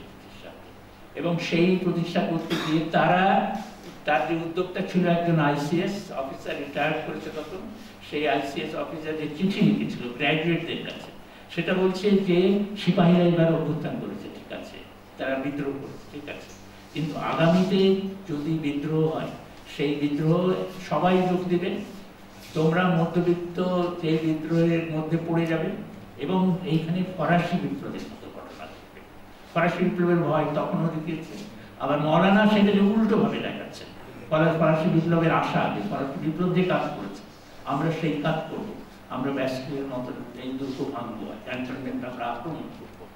তো এইখানে যেটা হয়েছে যে তারপরে আঠেরো তারিখে যে ঘটনা ঘটেছে, এইটা নিয়ে আঠেরো তারিখে সমস্ত মানুষ কার্ফিউ বন্ধ করে রাতের মধ্যে বেরিয়েছে এবং আমাদের হায়দার আনোয়ার খান জন্য একটা প্রবন্ধ লিখেছে, মৌলানা কোথায়? সেদিন রাত্রে তারা একটা বাড়িতে ছিলেন, মৌলানা সহ নেতারা ছাত্র নেতারা সবাই ছিলেন, রাজনৈতিক নেতারাও ছিলেন। একজন তরুণ, বিশ বাইশ বছরের তরুণ ছুটে এসছে, ছুটে এসে বলছে, মৌলানা কোথায়? তো কেন? আমাদের অস্ত্র দেন। আমরা ওদের, আমাদের মারছে, আমরা ওদের মারব। তো সেই যে একটা অসাধারণ ঘটনা ঘটছে। বস্তিবাসী বেরিয়ে এসছে, সাধারণ মেহনতি মানুষ বেরিয়ে এসছে, শ্রমজীবী, মধ্যবিত্ত বেরিয়ে এসছে, অস্ত্র চাচ্ছে যে আমরা আমরা এই মারছে আমাদেরকে আমরা ওদেরকে মারব। পরের দিন যখন হাসপাতালে গেছেন এরা দেখতে, সেখানে দেখা গেল বহু লোক আহত হয়ে এবং অনেক সাথে আহতদের পকেটে একটা অসাধারণ জিনিস দেখা গেল। তারা কাগজে লিখে রেখেছে নিজেদের পরিচয় যাতে করে যদি নিহত হয় তাহলে যেন বলা না যায় যেটা বেওয়ারিশ যারা এদের অপরিচিত, অজ্ঞাত পরিচিত। তারা পরিচিত, তাদের পরিচয় দিয়ে তারা তো এখন সমস্তটা ঘটনা ঘটলো, তারপরে যেটা হলো যে আইব খান তো পদত্যাগ করলেন। তিনি কার কাছে পদত্যাগ করলেন তিনি তার চাইতে আরও খারাপ যে লোক ইয়াহিয়া খান, তারা দেখিয়ে গেলেন আয়ুব খানের তবু একটা চরিত্র গুণ ছিল, তার একটা দৃষ্টিভঙ্গি ছিল। এই লোক একটা সাধারণ মধ্য এবং এর এর উপর আবার চাপ আছে ভুট্টো চাপ দিচ্ছে। আবার এদিকে তার সামরিক বাহিনীর ভেতরেও চাপ আছে। কাজে শেষ পর্যন্ত প্রথমে এই লোককে মনে হচ্ছিল যে খুব খুব লিবারেল খুব উদাহরণ সেই নির্বাচন দিবে ওয়ান ইউনিট ভেঙে দিল খান ভেঙে ওয়ান ইউনিট ভাঙলে পাকিস্তান খান তো ওয়ান ইউনিট ভেঙে দিয়েছে, নির্বাচন দিচ্ছে, কোনো নির্যাতন করছে না, মনে হলো খুবই ভালো। এলএফও তবে দিয়েছে লিগাল ফ্রেমওয়ার্ক অর্ডার সেইটা দিয়েছে, তার অধীনে হবে, ঠিক আছে। কিন্তু মনে হলো যে খুব বেশ ভদ্রলোক নির্বাচন নির্বাচন দিচ্ছে। কিন্তু গণহত্যা। যেটা হলো তার কি দাঁড়াল? উনসত্তরের অভ্যুত্থান তারপরে এই যে ক্ষমতা হস্তান্তর তার পরিণতিটা পরিণতিটা গেল যে একটা গণহত্যা।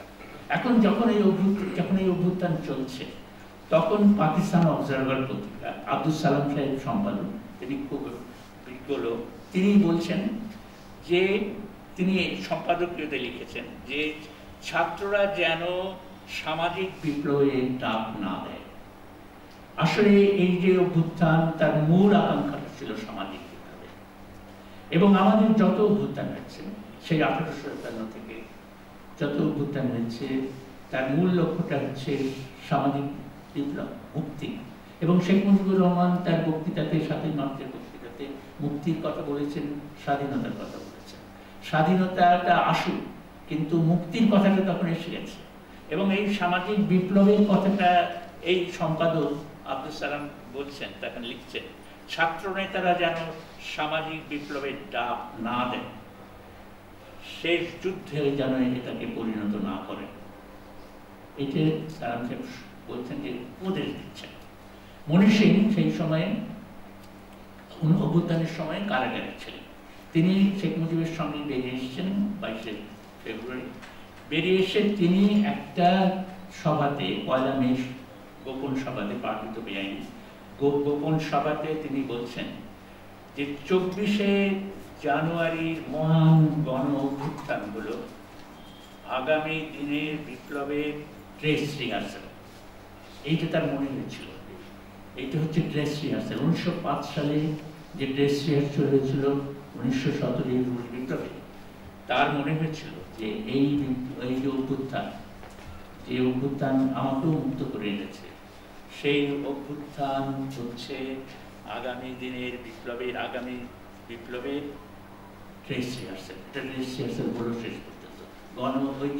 সালাম পেয়েছিলেন। সামাজিক বিপ্লবের সেটা হলো না।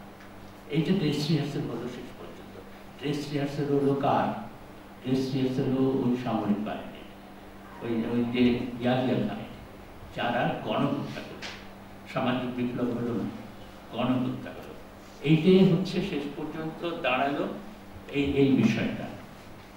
তো এখন আমি যদি আপনাদের ধৈর্য ত্রুটি না হয় তাহলে আমি দু একটা জিনিস পড়ে শোনাতে চাচ্ছিলাম।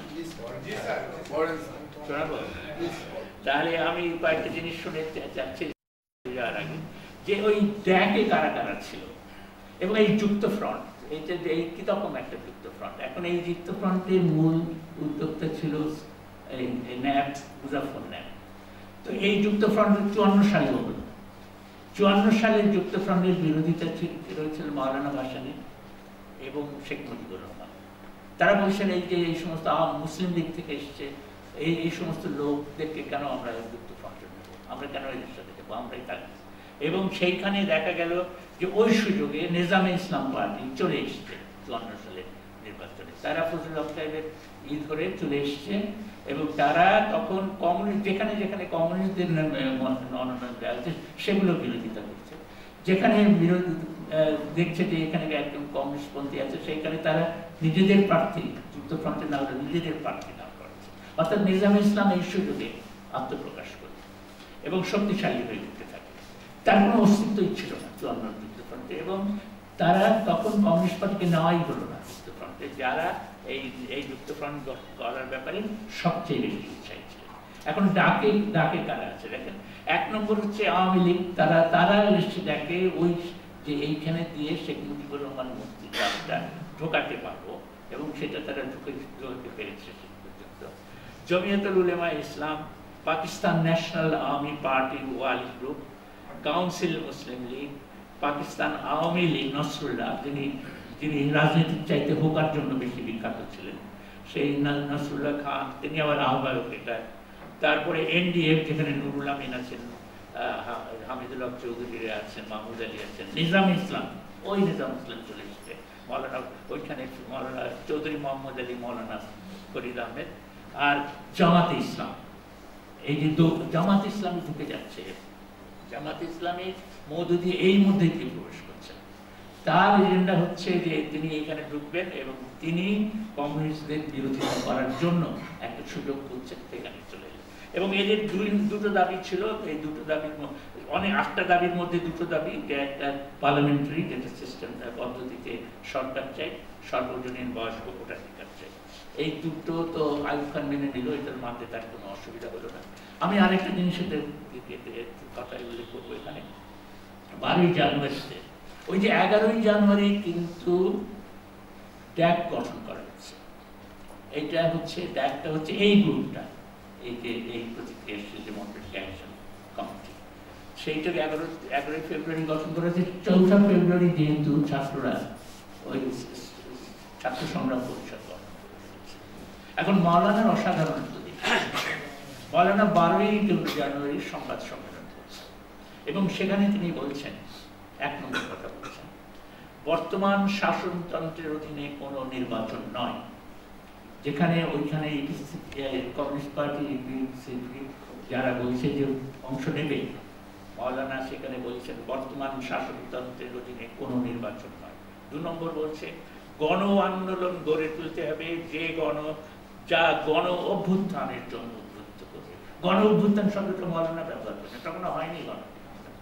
তিনি গণ আন্দোলনকে নিয়ে যাবেন গণ অভ্যুত্থানে। তিনি তিন নম্বর বলছেন যে হ্যাঁ এই কর- ড্যাকের কর্মসূচি অসম্পূর্ণ। এতে স্বায়ত্ত শাসনের কথা নেই মেহনতি জনতার কথা নেই। কিন্তু আমরা এই সহযোগিতা করি এবং তিনি নির্দেশ দিচ্ছেন তার কর্মীদের দিকে যারা তাদের সহযোগিতা করে এবং ওনারা চাচ্ছেন যে এদের এত হোক, গণ অভ্যুত্থান হোক। গণ অভ্যুত্থান কথাটা তিনি ব্যবহার করছেন। এবং তিনি বলছেন যে বিরোধী দলের যে ঐক্যের বৈঠক তাতে আমি আমন্ত্রণ পাই। প্রত্যাশা করেছিলাম কিন্তু তারা কোনো যোগাযোগ করে। উল্টো কিন্তু এখন বলা হয় মোহাম্মদ ফরহাদের বইতে লিখেছেন ফরহাদ যে মাওলানাই আহ, ঐক্য বিরোধী ছিলেন। মৌলানা কিছুতেই ঐক্যের মধ্যে আমাদের তিনি ঐক্যবদ্ধ হতে চাচ্ছিলেন। এখন তারপরে আমরা, আমি আরেকটা জিনিস পড়ে শোনাচ্ছি যে ওই যে সতেরোই জানুয়ারির ঘটনাটা হলো, সতেরোই জানুয়ারি যে দুই ভাগ হয়ে গেল। ট্যাগ যাচ্ছে বায়তুল মুকারমের মসজিদে আর ছাত্ররা যাচ্ছে রাজপথে। সেইখানে মোহাম্মদ ফরহাদ লিখছেন। মরহাদ, মোহাম্মদ ফরহাদ লিখছেন যে এই যে মোহাম্মদ ফরহাদ তখন যোগাযোগ রাখেন। কমিউনিস্ট পার্টি এবং ছাত্রদের মধ্যে সাথে যোগাযোগ রাখেন। তিনি তার বইতে লিখছেন যে যেখানে জামাতে ইসলামের মতো প্রতিক্রিয়াশীল দলও এই দ্বিধান নাই, তাদের কোনো দ্বিধান নেই। সেইখানে আমাদের ন্যায় দ্বিধান্বিত ছিল এবং এই দ্বিধান দ্বিধার ফলে কি ঘটে? কারণ কি?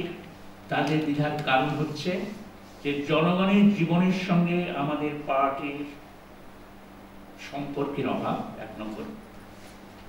গণ সংযোগের অভাব, দুই নম্বর। জনগণের সঙ্গে একাত্মবোধের অভাব এই এই কারণে আরও কতগুলো কারণে, যার ফলে আমরা এটা সাথে যোগ দিতে পারি। আমরা বুঝতে পারিনি মানুষ কি চায় কাজেই গণ অভ্যুত্থানের আগ পর্যন্ত, এটা এটা লিখছেন গণ অভ্যুত্থানের পরে। গণ অভ্যুত্থানের আগ পর্যন্ত গণ অভ্যুত্থান সঠিকভাবে বোঝা আমাদের পক্ষে সম্ভব ছিল না। এবং এই সকল কারণের ফল হিসেবে ছাত্র ফ্রন্টে আমাদের কমরেডদেরকে কমরেডদের কেউ কেউ প্রথম একটা অসুবিধার মধ্যে উনি নিজে স্বীকার করছেন। উনি পরের পার্টির কমিউনিস্ট পার্টির সেক্রেটারি হয়েছেন। তিনি স্বীকার করছেন যে আমরা গণ অভ্যুত্থান বুঝতে পারি। এখন কমিউনিস্ট পার্টি বলে যে তারা তারা অগ্রবাহিনী, কিন্তু তারা বুঝতে পারছে না। জনগণ কি চায়? জনগণ অভ্যুত্থানে যাচ্ছে। তিনি বলছেন, আমরা গণ অভ্যুত্থান বুঝতে পারি এবং আমরা তাদের নেতৃত্ব আমরা কেমন করে দেবে তাদের গেল এখন এই যে আমি আরেকটা জিনিস পড়ে শোনাবো আপনাদের। সেটা হচ্ছে যে ওই যে কমিউনিস্ট পার্টি ইটিসিপি তারা যে এই উনিশশো সাতাশি সালে হ্যাঁ। সাতষট্টি সাতাশি স্যার ও সাতাশি সাতষট্টি সাতষট্টি সালে। যখন গণ অভ্যুত্থানের কয়েক মাস আগে মানে তাহলে তো এটা আটষট্টি সালে হবে আটষট্টি সালে। আসলে আটষট্টি সালে হবে। উনিশশো আটষট্টি সালের মানে শেষে নভেম্বর মাসে। উনিশশো আটষট্টি সালের নভেম্বর মাসে তারা বলছেন তাদের রাজনৈতিক রিপোর্টে যে পূর্ব যে ওই যে কথাটা যে এটা জাতীয়তাবাদী আন্দোলনকে সমর্থন করা যাবে পূর্ববঙ্গের শ্রমিক শ্রেণির পার্টি সভ্যগণকে পূর্ববঙ্গের শ্রেণির শ্রেণির পার্টির সভ্যগণকে বাঙালি জাতীয়তাবাদ হইতে সাবধান থাকিয়া, প্রকৃত দেশপ্রেম ও আন্তর্জাতিকতাবাদী উদ্বুদ্ধ করিতে হইবে। যে জাতীয়তাবাদকে প্রত্যাখ্যান করে দিচ্ছে এবং জাতীয়বাদকে প্রত্যাখ্যান করে তারা পিছিয়ে যাচ্ছে, এইটা হচ্ছে আরেকটা বিষয়। আরেকটা হচ্ছে যে এই সময়ে কেন সোভিয়েত ইউনিয়নের ন্যাপ এবং সোভিয়েত পশ্চিম ন্যাপ কেন এইটাতে আসতে পারছে না, এই আন্দোলনে যোগ দিতে পারছে না? তার একটা কারণ এখানে দেখা যাচ্ছে যে সোভিয়েত পার্টির যে মুখপত্র নিউ টাইমস সেই পত্রিকায় লিখছে, কিছু চীনপন্থী বিচ্ছিন্নতাবাদী নৈরাজ্যজনক কার্যকলাপ শুরু করেছে। চীনপন্থীরা এটা করছে। কাজে মস্কোপন্থীরা এখানে যায় দ্বিতীয় হচ্ছে ইসবেস্তিয়া পত্রিকা, যেটা তাদের সরকারি পত্রিকা। ছয় দফার সাথে মার্কিন লেগা যুক্ত আছে এই কথাটা হচ্ছে। কাজে এইগুলো তো তাদের পক্ষে এই জন্যই আসতে পারছে না। আরেকটা হচ্ছে যে এই সময়ে আমাদের মৌলানার বিরুদ্ধে যে কথাগুলো চলছে, যে প্রচারণাগুলো চলছে, তার একটা? তাহলে হচ্ছে যে, এখন আমাদের একজন লেখক পরিচিত বন্ধু ছিলেন তিনি নাই এখন, আব্দুল হক সাহেব। তিনি উদারনীতিক ছিলেন জাতীয়তাবাদী ছিলেন। তিনি তার ডায়েরি লিখেছেন, ডায়েরিতে লিখছেন, উনিশে মার্চ উনিশশো উনসত্তর সালে, উনিশে মার্চ উনিশে মার্চ লিখছেন। প্রত্যেকদিনই লেখেন এই দিন লিখছেন। দৈনিক ইত্তেফাক সম্প্রতি সংবাদ পরিবেশন, সংবাদপত্রের হেডিং মন্তব্য চিঠিপত্র, রাজনৈতিক মঞ্চ ইত্যাদির মারফত মৌলানা ভাসানীকে হাস্যকর, হেয় ও ক্ষতিকর বলে প্রতিপন্ন করার চেষ্টা করছে। ঠিক আছে, এই পর্যন্ত করছে। ওনার নিজের বক্তব্য হচ্ছে, বক্তৃতায় আগুনের ফুলকি ছড়িয়ে দায়িত্বহীন ও হিংসাত্মক উক্তি করে মৌলানা প্রতিপক্ষকে সমালোচনার সুযোগ করে দিচ্ছেন এবং সরকারকে কঠিন পদক্ষেপ নিতে আর অজুহাত যোগাচ্ছেন এইটা হচ্ছে এই যারা জাতীয়তাবাদী, তাদের ধারণা মৌলানা সম্বন্ধে। যে করছে, ওইটা দেখছেন, কিন্তু তাতে মৌলানার প্রতি সহানুভূতি নেই। মৌলানা কেন আগুনের ফুলকি ছড়াচ্ছে দায়িত্ব জ্ঞানহীন উক্তি করছে, এই সমস্ত দিয়ে মানুষকে প্রভোগ করছে। আবার তিনি তিনিই বলছেন, দেয়ালের মধ্যে তিনি দেখেছেন, স্বাধীনতা অনেক জায়গায় দেয়ালে লেখা দেখলাম। দেখলাম লেখা আছে, পূর্ব বাংলার স্বাধীনতা চাই এই স্লোগান শুনেছি, এই স্লোগান মিছিল এই পূর্ববঙ্গের স্বাধীনতা কিন্তু মৌলানা তুলছে এবং মৌলানার এই যে মৌলানার যে জাতীয়তাবাদী চরিত্র, এটা আবার শেখ মুজিবের সঙ্গে মৌলানার মিল আছে। খাঁটি জাতীয়তা, খাঁটি বাঙালি। এই যে শেখ মুজিব তো বাঙালি জাতীয়তাবাদের মুখপাত্র তিনি তিনি এগিয়ে যাচ্ছেন। মৌলানা উনিশশো চুয়ান্ন সালের পরে যুক্তফ্রন্টের নির্বাচনের পরে যাচ্ছিলেন শান্তি সম্মেলনে। মাদাম কুরি জুলিও কুরি তাকে তাকে আমন্ত্রণ জানিয়েছিলেন। তিনি যাবেন বার্লিনে, যেতে পারেননি। তার ভিসা পাওয়া যায়নি, দেয়নি। সেজন্য তিনি স্টকহোমে গিয়ে বক্তৃতা করেছেন সেখানে তিনি লন্ডনে আছেন। এখন লন্ডনে তিনি যখন তাকে জিজ্ঞেস করা হচ্ছে যে আপনি, আপনার পরিচয় কি? সংবাদ- সাংবাদিকরা জিজ্ঞেস করছে। মৌলানা বলছেন, আমার প্রথম পরিচয় আমি বাঙালি। তারপরে পরিচয় আমি মুসলমান।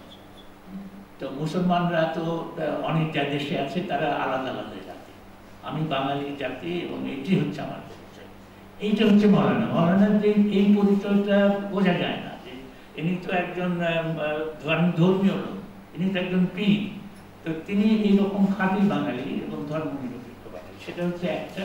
আর মৌলানা সম্বন্ধে সেইখানে লেখা হয়েছিল সংবাদপত্রে যে তিনি হচ্ছেন ফায়ার ইটার মৌলানা আগুন খায়।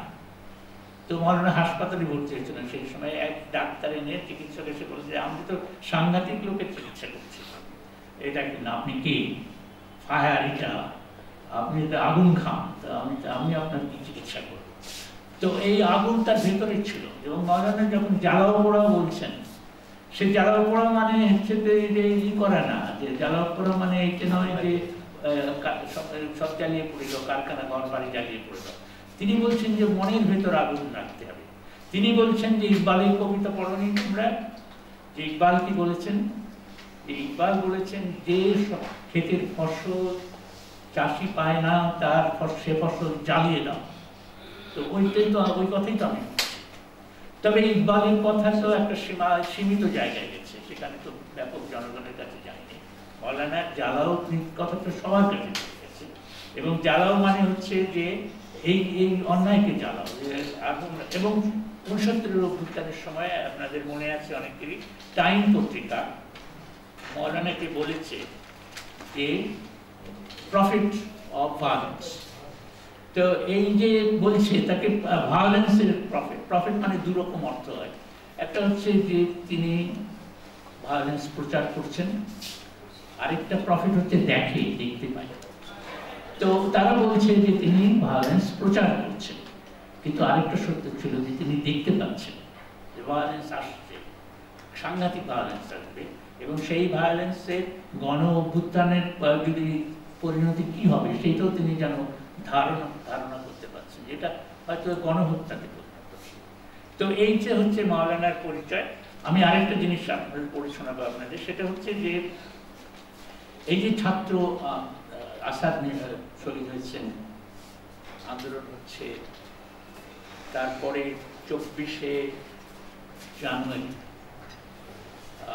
মতিউর শহীদ কিশোর মতিউর সব সাতজন শহীদ হচ্ছে লাশ নিয়ে মিছিল হচ্ছে। এখন ছাত্ররা ভয় পেয়ে গেছে এটা কি করা যাবে। এখন শেখর দত্ত তার এক বই, তার বইতে ষাট দশকের গণজাগ, গণ উদ্ধৃত করেছেন যে ছাত্র নেতারা পথ নিয়ন্ত্রণে এক পর্যায়ে ঠিক হয় যে পল্টনে জনসভা করা ঠিক হবে না মিছিলের বিক্ষুব্ধ জনতার মুখে দোয়া দরুদ তুলে দিতে হবে এবং ইকবাল হলে জানাজা করে তিনি কর্মসূচি শেষ করতে হবে ইকবাল হল থেকে ছাত্র নেতা কর্মীদের মুখে মুখে এইটা ছড়িয়ে দেওয়া হলো। এবং দিনের কর্মসূচি ওইভাবেই শেষ হলো। তারপরে শেখর দত্ত এখানে লিখছেন, সেদিন মানুষ অন্যরা ভয় পেয়ে গেছে যে এই জনতার যে অভ্যুত্থান, সেইখানে আতঙ্ক সৃষ্টি হচ্ছে। এই প্রতিক্রিয়াশীলদের উপরে, যারা বড় লোক, তাদের উপরে, সেইখানে ডানপন্থীদের উপরে। তখন এই যে জায়গাটা, এই যে জায়গাটা, সেটা যে এই যে ধর্ম নিরপেক্ষতা আনা যে কত কঠিন এখন ধর্মকে ব্যবহার করতে হচ্ছে। ধর্মকে রাজনৈতিকভাবে ব্যবহার করা হয় যারা, যাদের অভিসন্ধি আছে, তারা করে। এবং এই ছাত্ররাও করতে বাধ্য হচ্ছে যে থামাতে হবে এখন। এখন দোয়া দূর পড়ে, পড়তে পড়তে বেরিয়ে চলে যাই, তারপরে হলে গিয়ে মিছিল করে গিয়ে একটা জানাতে পড়ি তারপরে দিতে পারছে না। এই যে জায়গাটা, এই যে নেতৃত্বের যে জায়গাটা একটা শেখ মুজিবুর রহমানের অসমাপ্ত আত্মজীবনী থেকে। এখন মূল কথাটা হচ্ছে রাষ্ট্রের কথাটা আসে। রাষ্ট্রকে চেনা, রাষ্ট্রকে আঘাত করা, রাষ্ট্র ক্ষমতা দখল করা। এবং যেটা আমাদের এই যে বামপন্থী আন্দোলনের একটা দল দুর্বলতা যে তারা ওই রাষ্ট্র ক্ষমতার কথাটা ভাবে। সেই জন্যে ব্রিটিশ আমলে আওয়াজ তুলেছিল, জনসাধারণের আওয়াজ।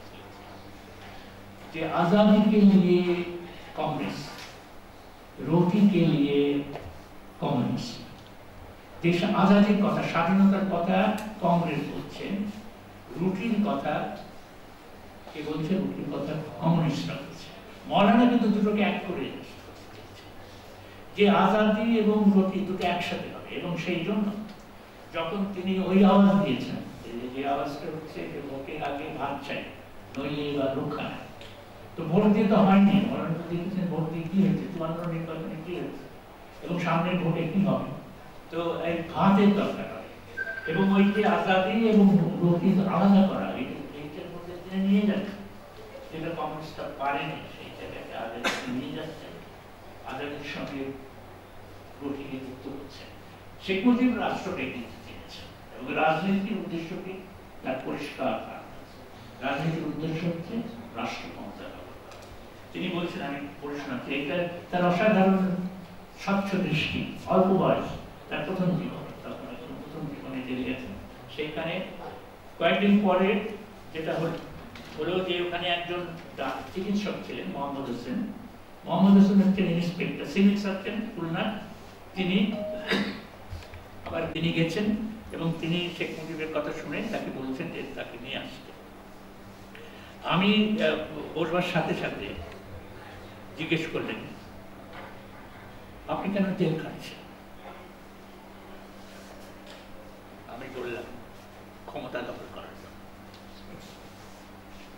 তিনি আমার মুখের দিকে অনেকক্ষণ চেয়ে রইলেন। তারপর বললেন, ক্ষমতা দখল করে কি করবে? বললাম, যদি পারি দেশের জনগণের জন্য কিছু করব। ক্ষমতা না পেলে তো করতে পারব না। তখন তিনি আমাকে বললেন, এতদিন জেলের সাথে আছি। বহু রাজবন্দির সাথে সাক্ষাৎ হয়েছে, আলাপ হয়েছে। অনেকের সাথে জিজ্ঞেস করেছে এই প্রশ্ন। এইভাবে কেউ উত্তর দেননি।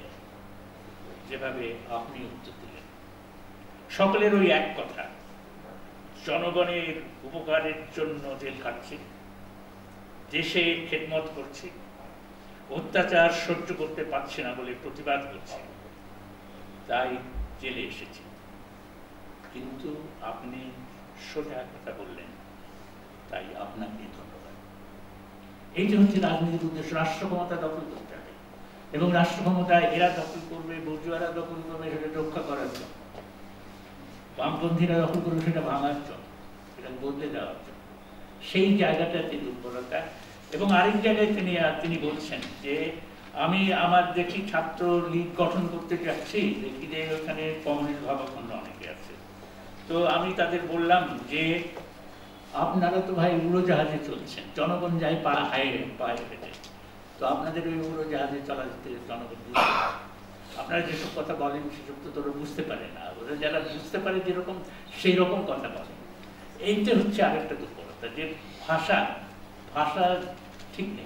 এবং আমি ভাষার কথাটা দিয়ে একটা উদাহরণ দিয়ে আমি এই- পর্যন্ত এখানে থামবো, তারপরে উপসংহারে যাব একটু সবার সংক্ষেপে এটা হচ্ছে যে মোহাম্মদ ফরহাদের যে এই বই অভ্যুত্থান সংঘ এটা খুবই খুবই আনন্দদায়ক বই। এটা অনেক ভালো জিনিস আছে এবং বোঝা যায় যে তার কি অসুবিধা সে বইয়ের এবার দু হাজার উনিশ সালে এ বইয়ের নতুন সংস্করণ বেরিয়েছে। তাতে একজন ওই পার্টির একজন লোক তিনি আগে ছিলেন এখন তো সক্রিয় না তিনি লিখছেন সেই বিপ্লব মানে উনসত্তরের অভ্যুত্থানের বিপ্লব সেই বিপ্লব আমাদের মহান স্বাধীনতার মহান- আচ্ছা, সেই বিপ্লব আমাদের মহান স্বাধীনতার সম্মা- সম্মান এনেছে। তিরিশ লাখ শহীদের রক্তের বিনিময়ে এনে দিয়েছে আমাদের স্বাধীনতা। এখন তিরিশ লাখ শহীদের রক্তের বিনিময়ে, এইটা আবার এর সাথে এক গান ছিল এক- এক নদী রক্তের বিনিময়। বিনিময় কে করল? কে অধিকার দিয়েছে বিনিময়? এটা কি কেনা বেচার ব্যাপার ছিল? এটা কি আপনি ওদের বলছেন যে তিরিশ লক্ষের রক্তের ব্যয় দিতে পারব এর বেশি দিতে পারব এবং ওরা দিয়ে দিল আপনাকে। তো এইটা হচ্ছে এই ভাষা ব্যবহার হচ্ছে। এবং এটা এতে যে একটা কথা হচ্ছে যে তিরিশ লাখের রক্ত প্রাণ না রক্ত দিয়েছে। তারপর এটা বিনিময় হচ্ছে। বিনিময়ে আমরা স্বাধীনতা এইটা হচ্ছে কমিউনিস্টদের ভাষা, এবং এইটাই মুঠাকি মুজিবুর রহমান বলছে যে আপনারা যে ভাষায় কথা বলেন তো লোকে বোঝে না, আপনারা উড়ে চলেন লোকে তো পায়ে হেঁটে যাচ্ছে। তো এই এই দুর্বলতাগুলো ছিল। আমি তাহলে উপসংহারে আসি। উপসংহারটা হলো যে এখন, এই যে উনসত্তরের যে যে কথাটা আমি শুরুতে বলেছিলাম যে যে আকাঙ্ক্ষাটা ছিল, সমাজ বিপ্লবের আকাঙ্ক্ষা, সেই আকাঙ্ক্ষাটা পূর্ণ হয়েছে? সেটা যে পূর্ণ হয়নি তার বহু উদাহরণ আমরা দেখতে পাবো।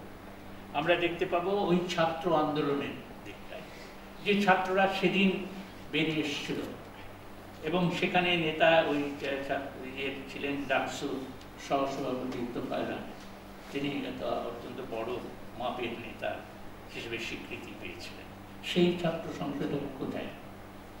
আঠাশ বছর ধরে কোনো পাবলিক ইউনিভার্সিটিতে ছাত্র সংসদ নেই। প্রাইভেট ইউনিভার্সিটি থাকবেই না।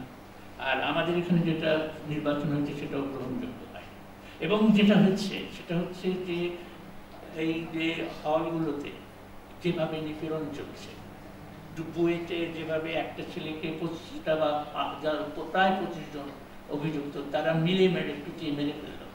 রাজশাহী ইউনিভার্সিটি মেরে মাথা পাঠিয়ে দিচ্ছে। এই যে এক দলের আধিপত্য চলছে।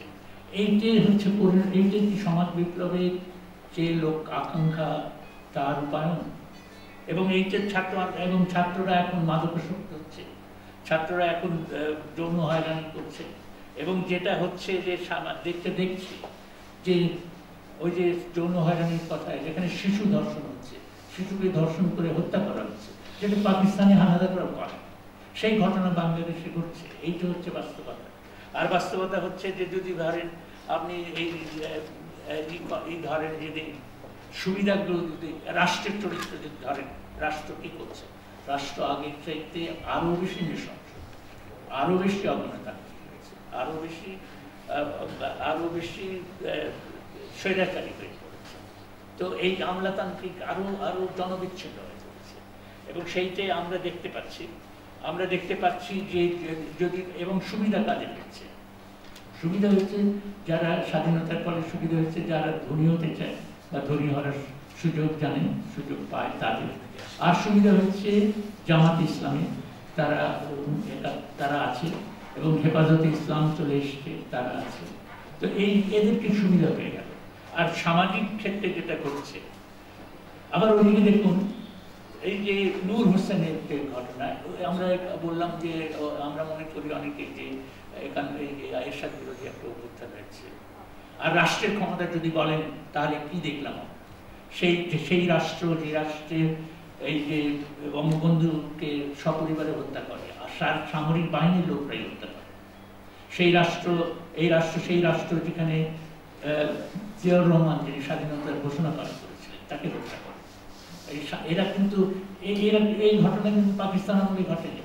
শেখ মুজিবুর রহমানের হাত, গায়ে হাত দিতে পাকিস্তানি সেনারা সাহস তাকে ফাঁসি দেবে বলে রায় তৈরি করেছিল এক বিচারে কিন্তু সেটা কার্যকর করার ক্ষমতা তাদের সাহস ছিল না।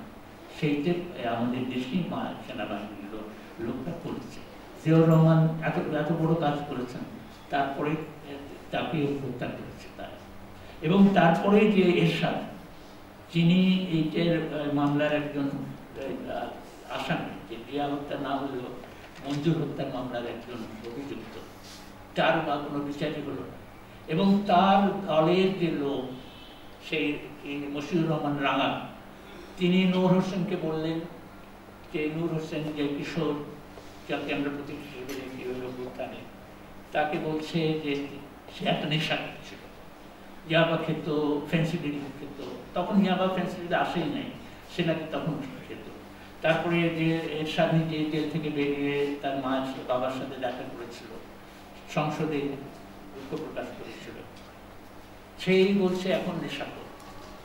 এবং এই নূর হোসেনের মা যেহেতু তার পরিবারের সদস্যদের নিয়ে প্রেস ক্লাবের সামনে বলে বিক্ষোভ করলেন তাই সবাই জানা করল মানে নুর হোসেনকে মিশে যাচ্ছিল নেশাখোর বলে পরিচিত হয়ে যাচ্ছিল আবার যদি দেখি যে মতিউর রহমান যে মন্ত্রী যে হয়েছে তার বাবা সেই দিন চব্বিশ তারিখে আলী বলেছিলেন যে, আমার একটা ছেলে চলে গেল। কিন্তু আমি তো লক্ষ ছেলে পেয়েছি সেই মতিউর রহমানের বাবা কি পরিণতি হয়েছে সে ব্যাংকে চাকরি করতেন, যখন অবসর নিচ্ছেন, থাকার জায়গা নেই। তারপরে তখন তো আহমেদ তাকে একটা বন্দোবস্ত করেছে। এইটা হচ্ছে এই- দেখছি যে রাষ্ট্র একদিকে নিঃসন্দেহ হচ্ছে, আরেকদিকে মানুষ যারা রাজের সাথে যুক্ত ছিল তাদের তাদের এই ব্যবস্থাটা হচ্ছে। আমি আরেকটা ঘটনা আপনার দৃষ্টি আকর্ষণ করে সংক্ষেপে যেহেতু আপনারা শুনতে শুনছেন, বিরক্ত হচ্ছেন না।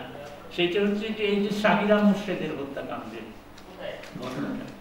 তিনি তো ব্যবস্থাকে উন্মোচিত করে তিরিশ বছর ধরে একটা মামলার চাপে পড়েছিল কে হত্যা করেছে? মহিলার আপন ভাসুর। তাকে হত্যার ভারত খুনি দিয়ে হত্যা করেছে। এবং তার সাথে ভদ্রলোকের শ্যালক যুক্ত এবং জানে যে সাবিরা মুর্শেদের স্বামী জানে যে তারা বড় ভাই, এটার সাথে যুক্ত, সন্দেহ হচ্ছে। কিন্তু তাকে বলেছে যে তুমি নাড়াচাড়া করো না, তাহলে তোমার তিনটে মেয়ে আছে, ওদের বিপদ হবে। সে ভাবতারা চুপ হয়ে গেছে। আঠাশ বছর ধরে এই চাপা পড়েছিল। কেন চাপা পড়েছিল? আদালত চাপা দিয়ে আদালত কেন চাপা দিল?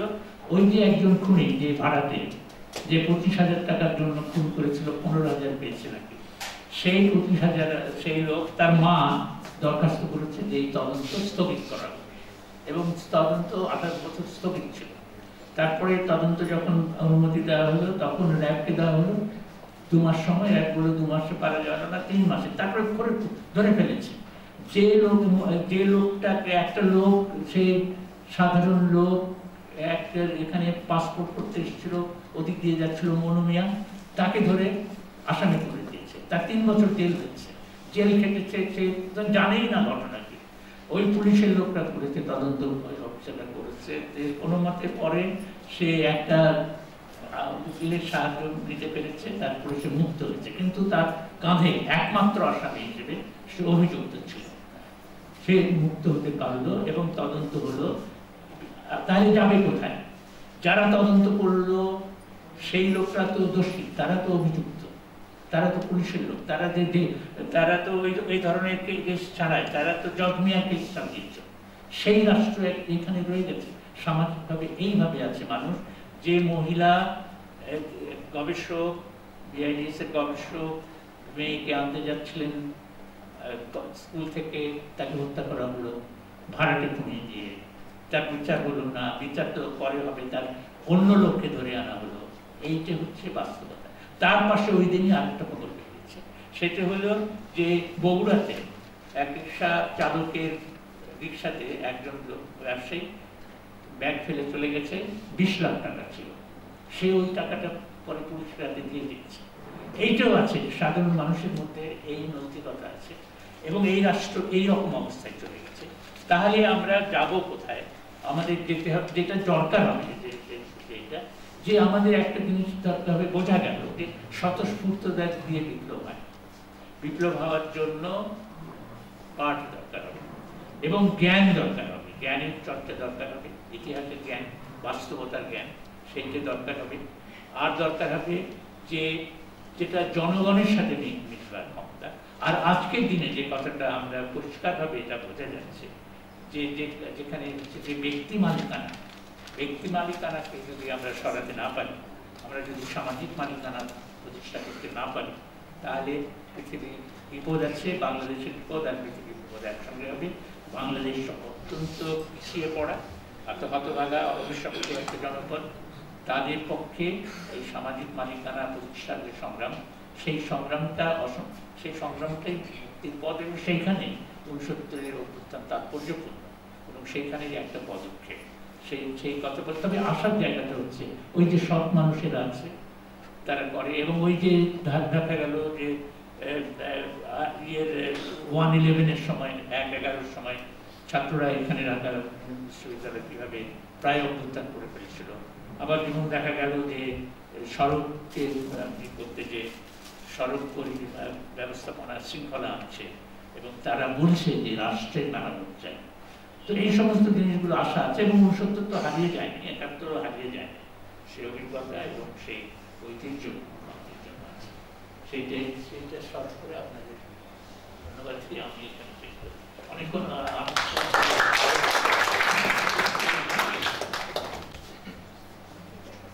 ধন্যবাদ। আজকের অনুষ্ঠানের সম্মানিত বক্তা, ঢাকা বিশ্ববিদ্যালয়ের এমনিটাস অধ্যাপক ডক্টর সিরাজুল ইসলাম চৌধুরী আপনাকে আপনার চমৎকার একটি বিষয় আমাদের সামনে তুলে ধরেছেন সেই জন্য আপনাকে আরও একবার ধন্যবাদ ও কৃতজ্ঞতা জানাই আমাদের আজকের অনুষ্ঠানে সম্মানিত বক্তা হয়ে উপস্থিত হয়ে আমাদেরকে সমৃদ্ধ করেছেন। অডিটরিয়ামে উপস্থিত আপনাদের সবাইকে আন্তরিক ধন্যবাদ, কৃতজ্ঞতা জানাই, কেননা আপনাদের উপস্থিতি আমাদের অনুষ্ঠানকে করে সমৃদ্ধ। উপস্থিত সম্মানিত সতী আপনাদের সকলের জন্য চায়ের নিমন্ত্রণ রয়েছে। আশা করি আমাদের এই নিমন্ত্রণ আপনারা autori potosciamo, cosa si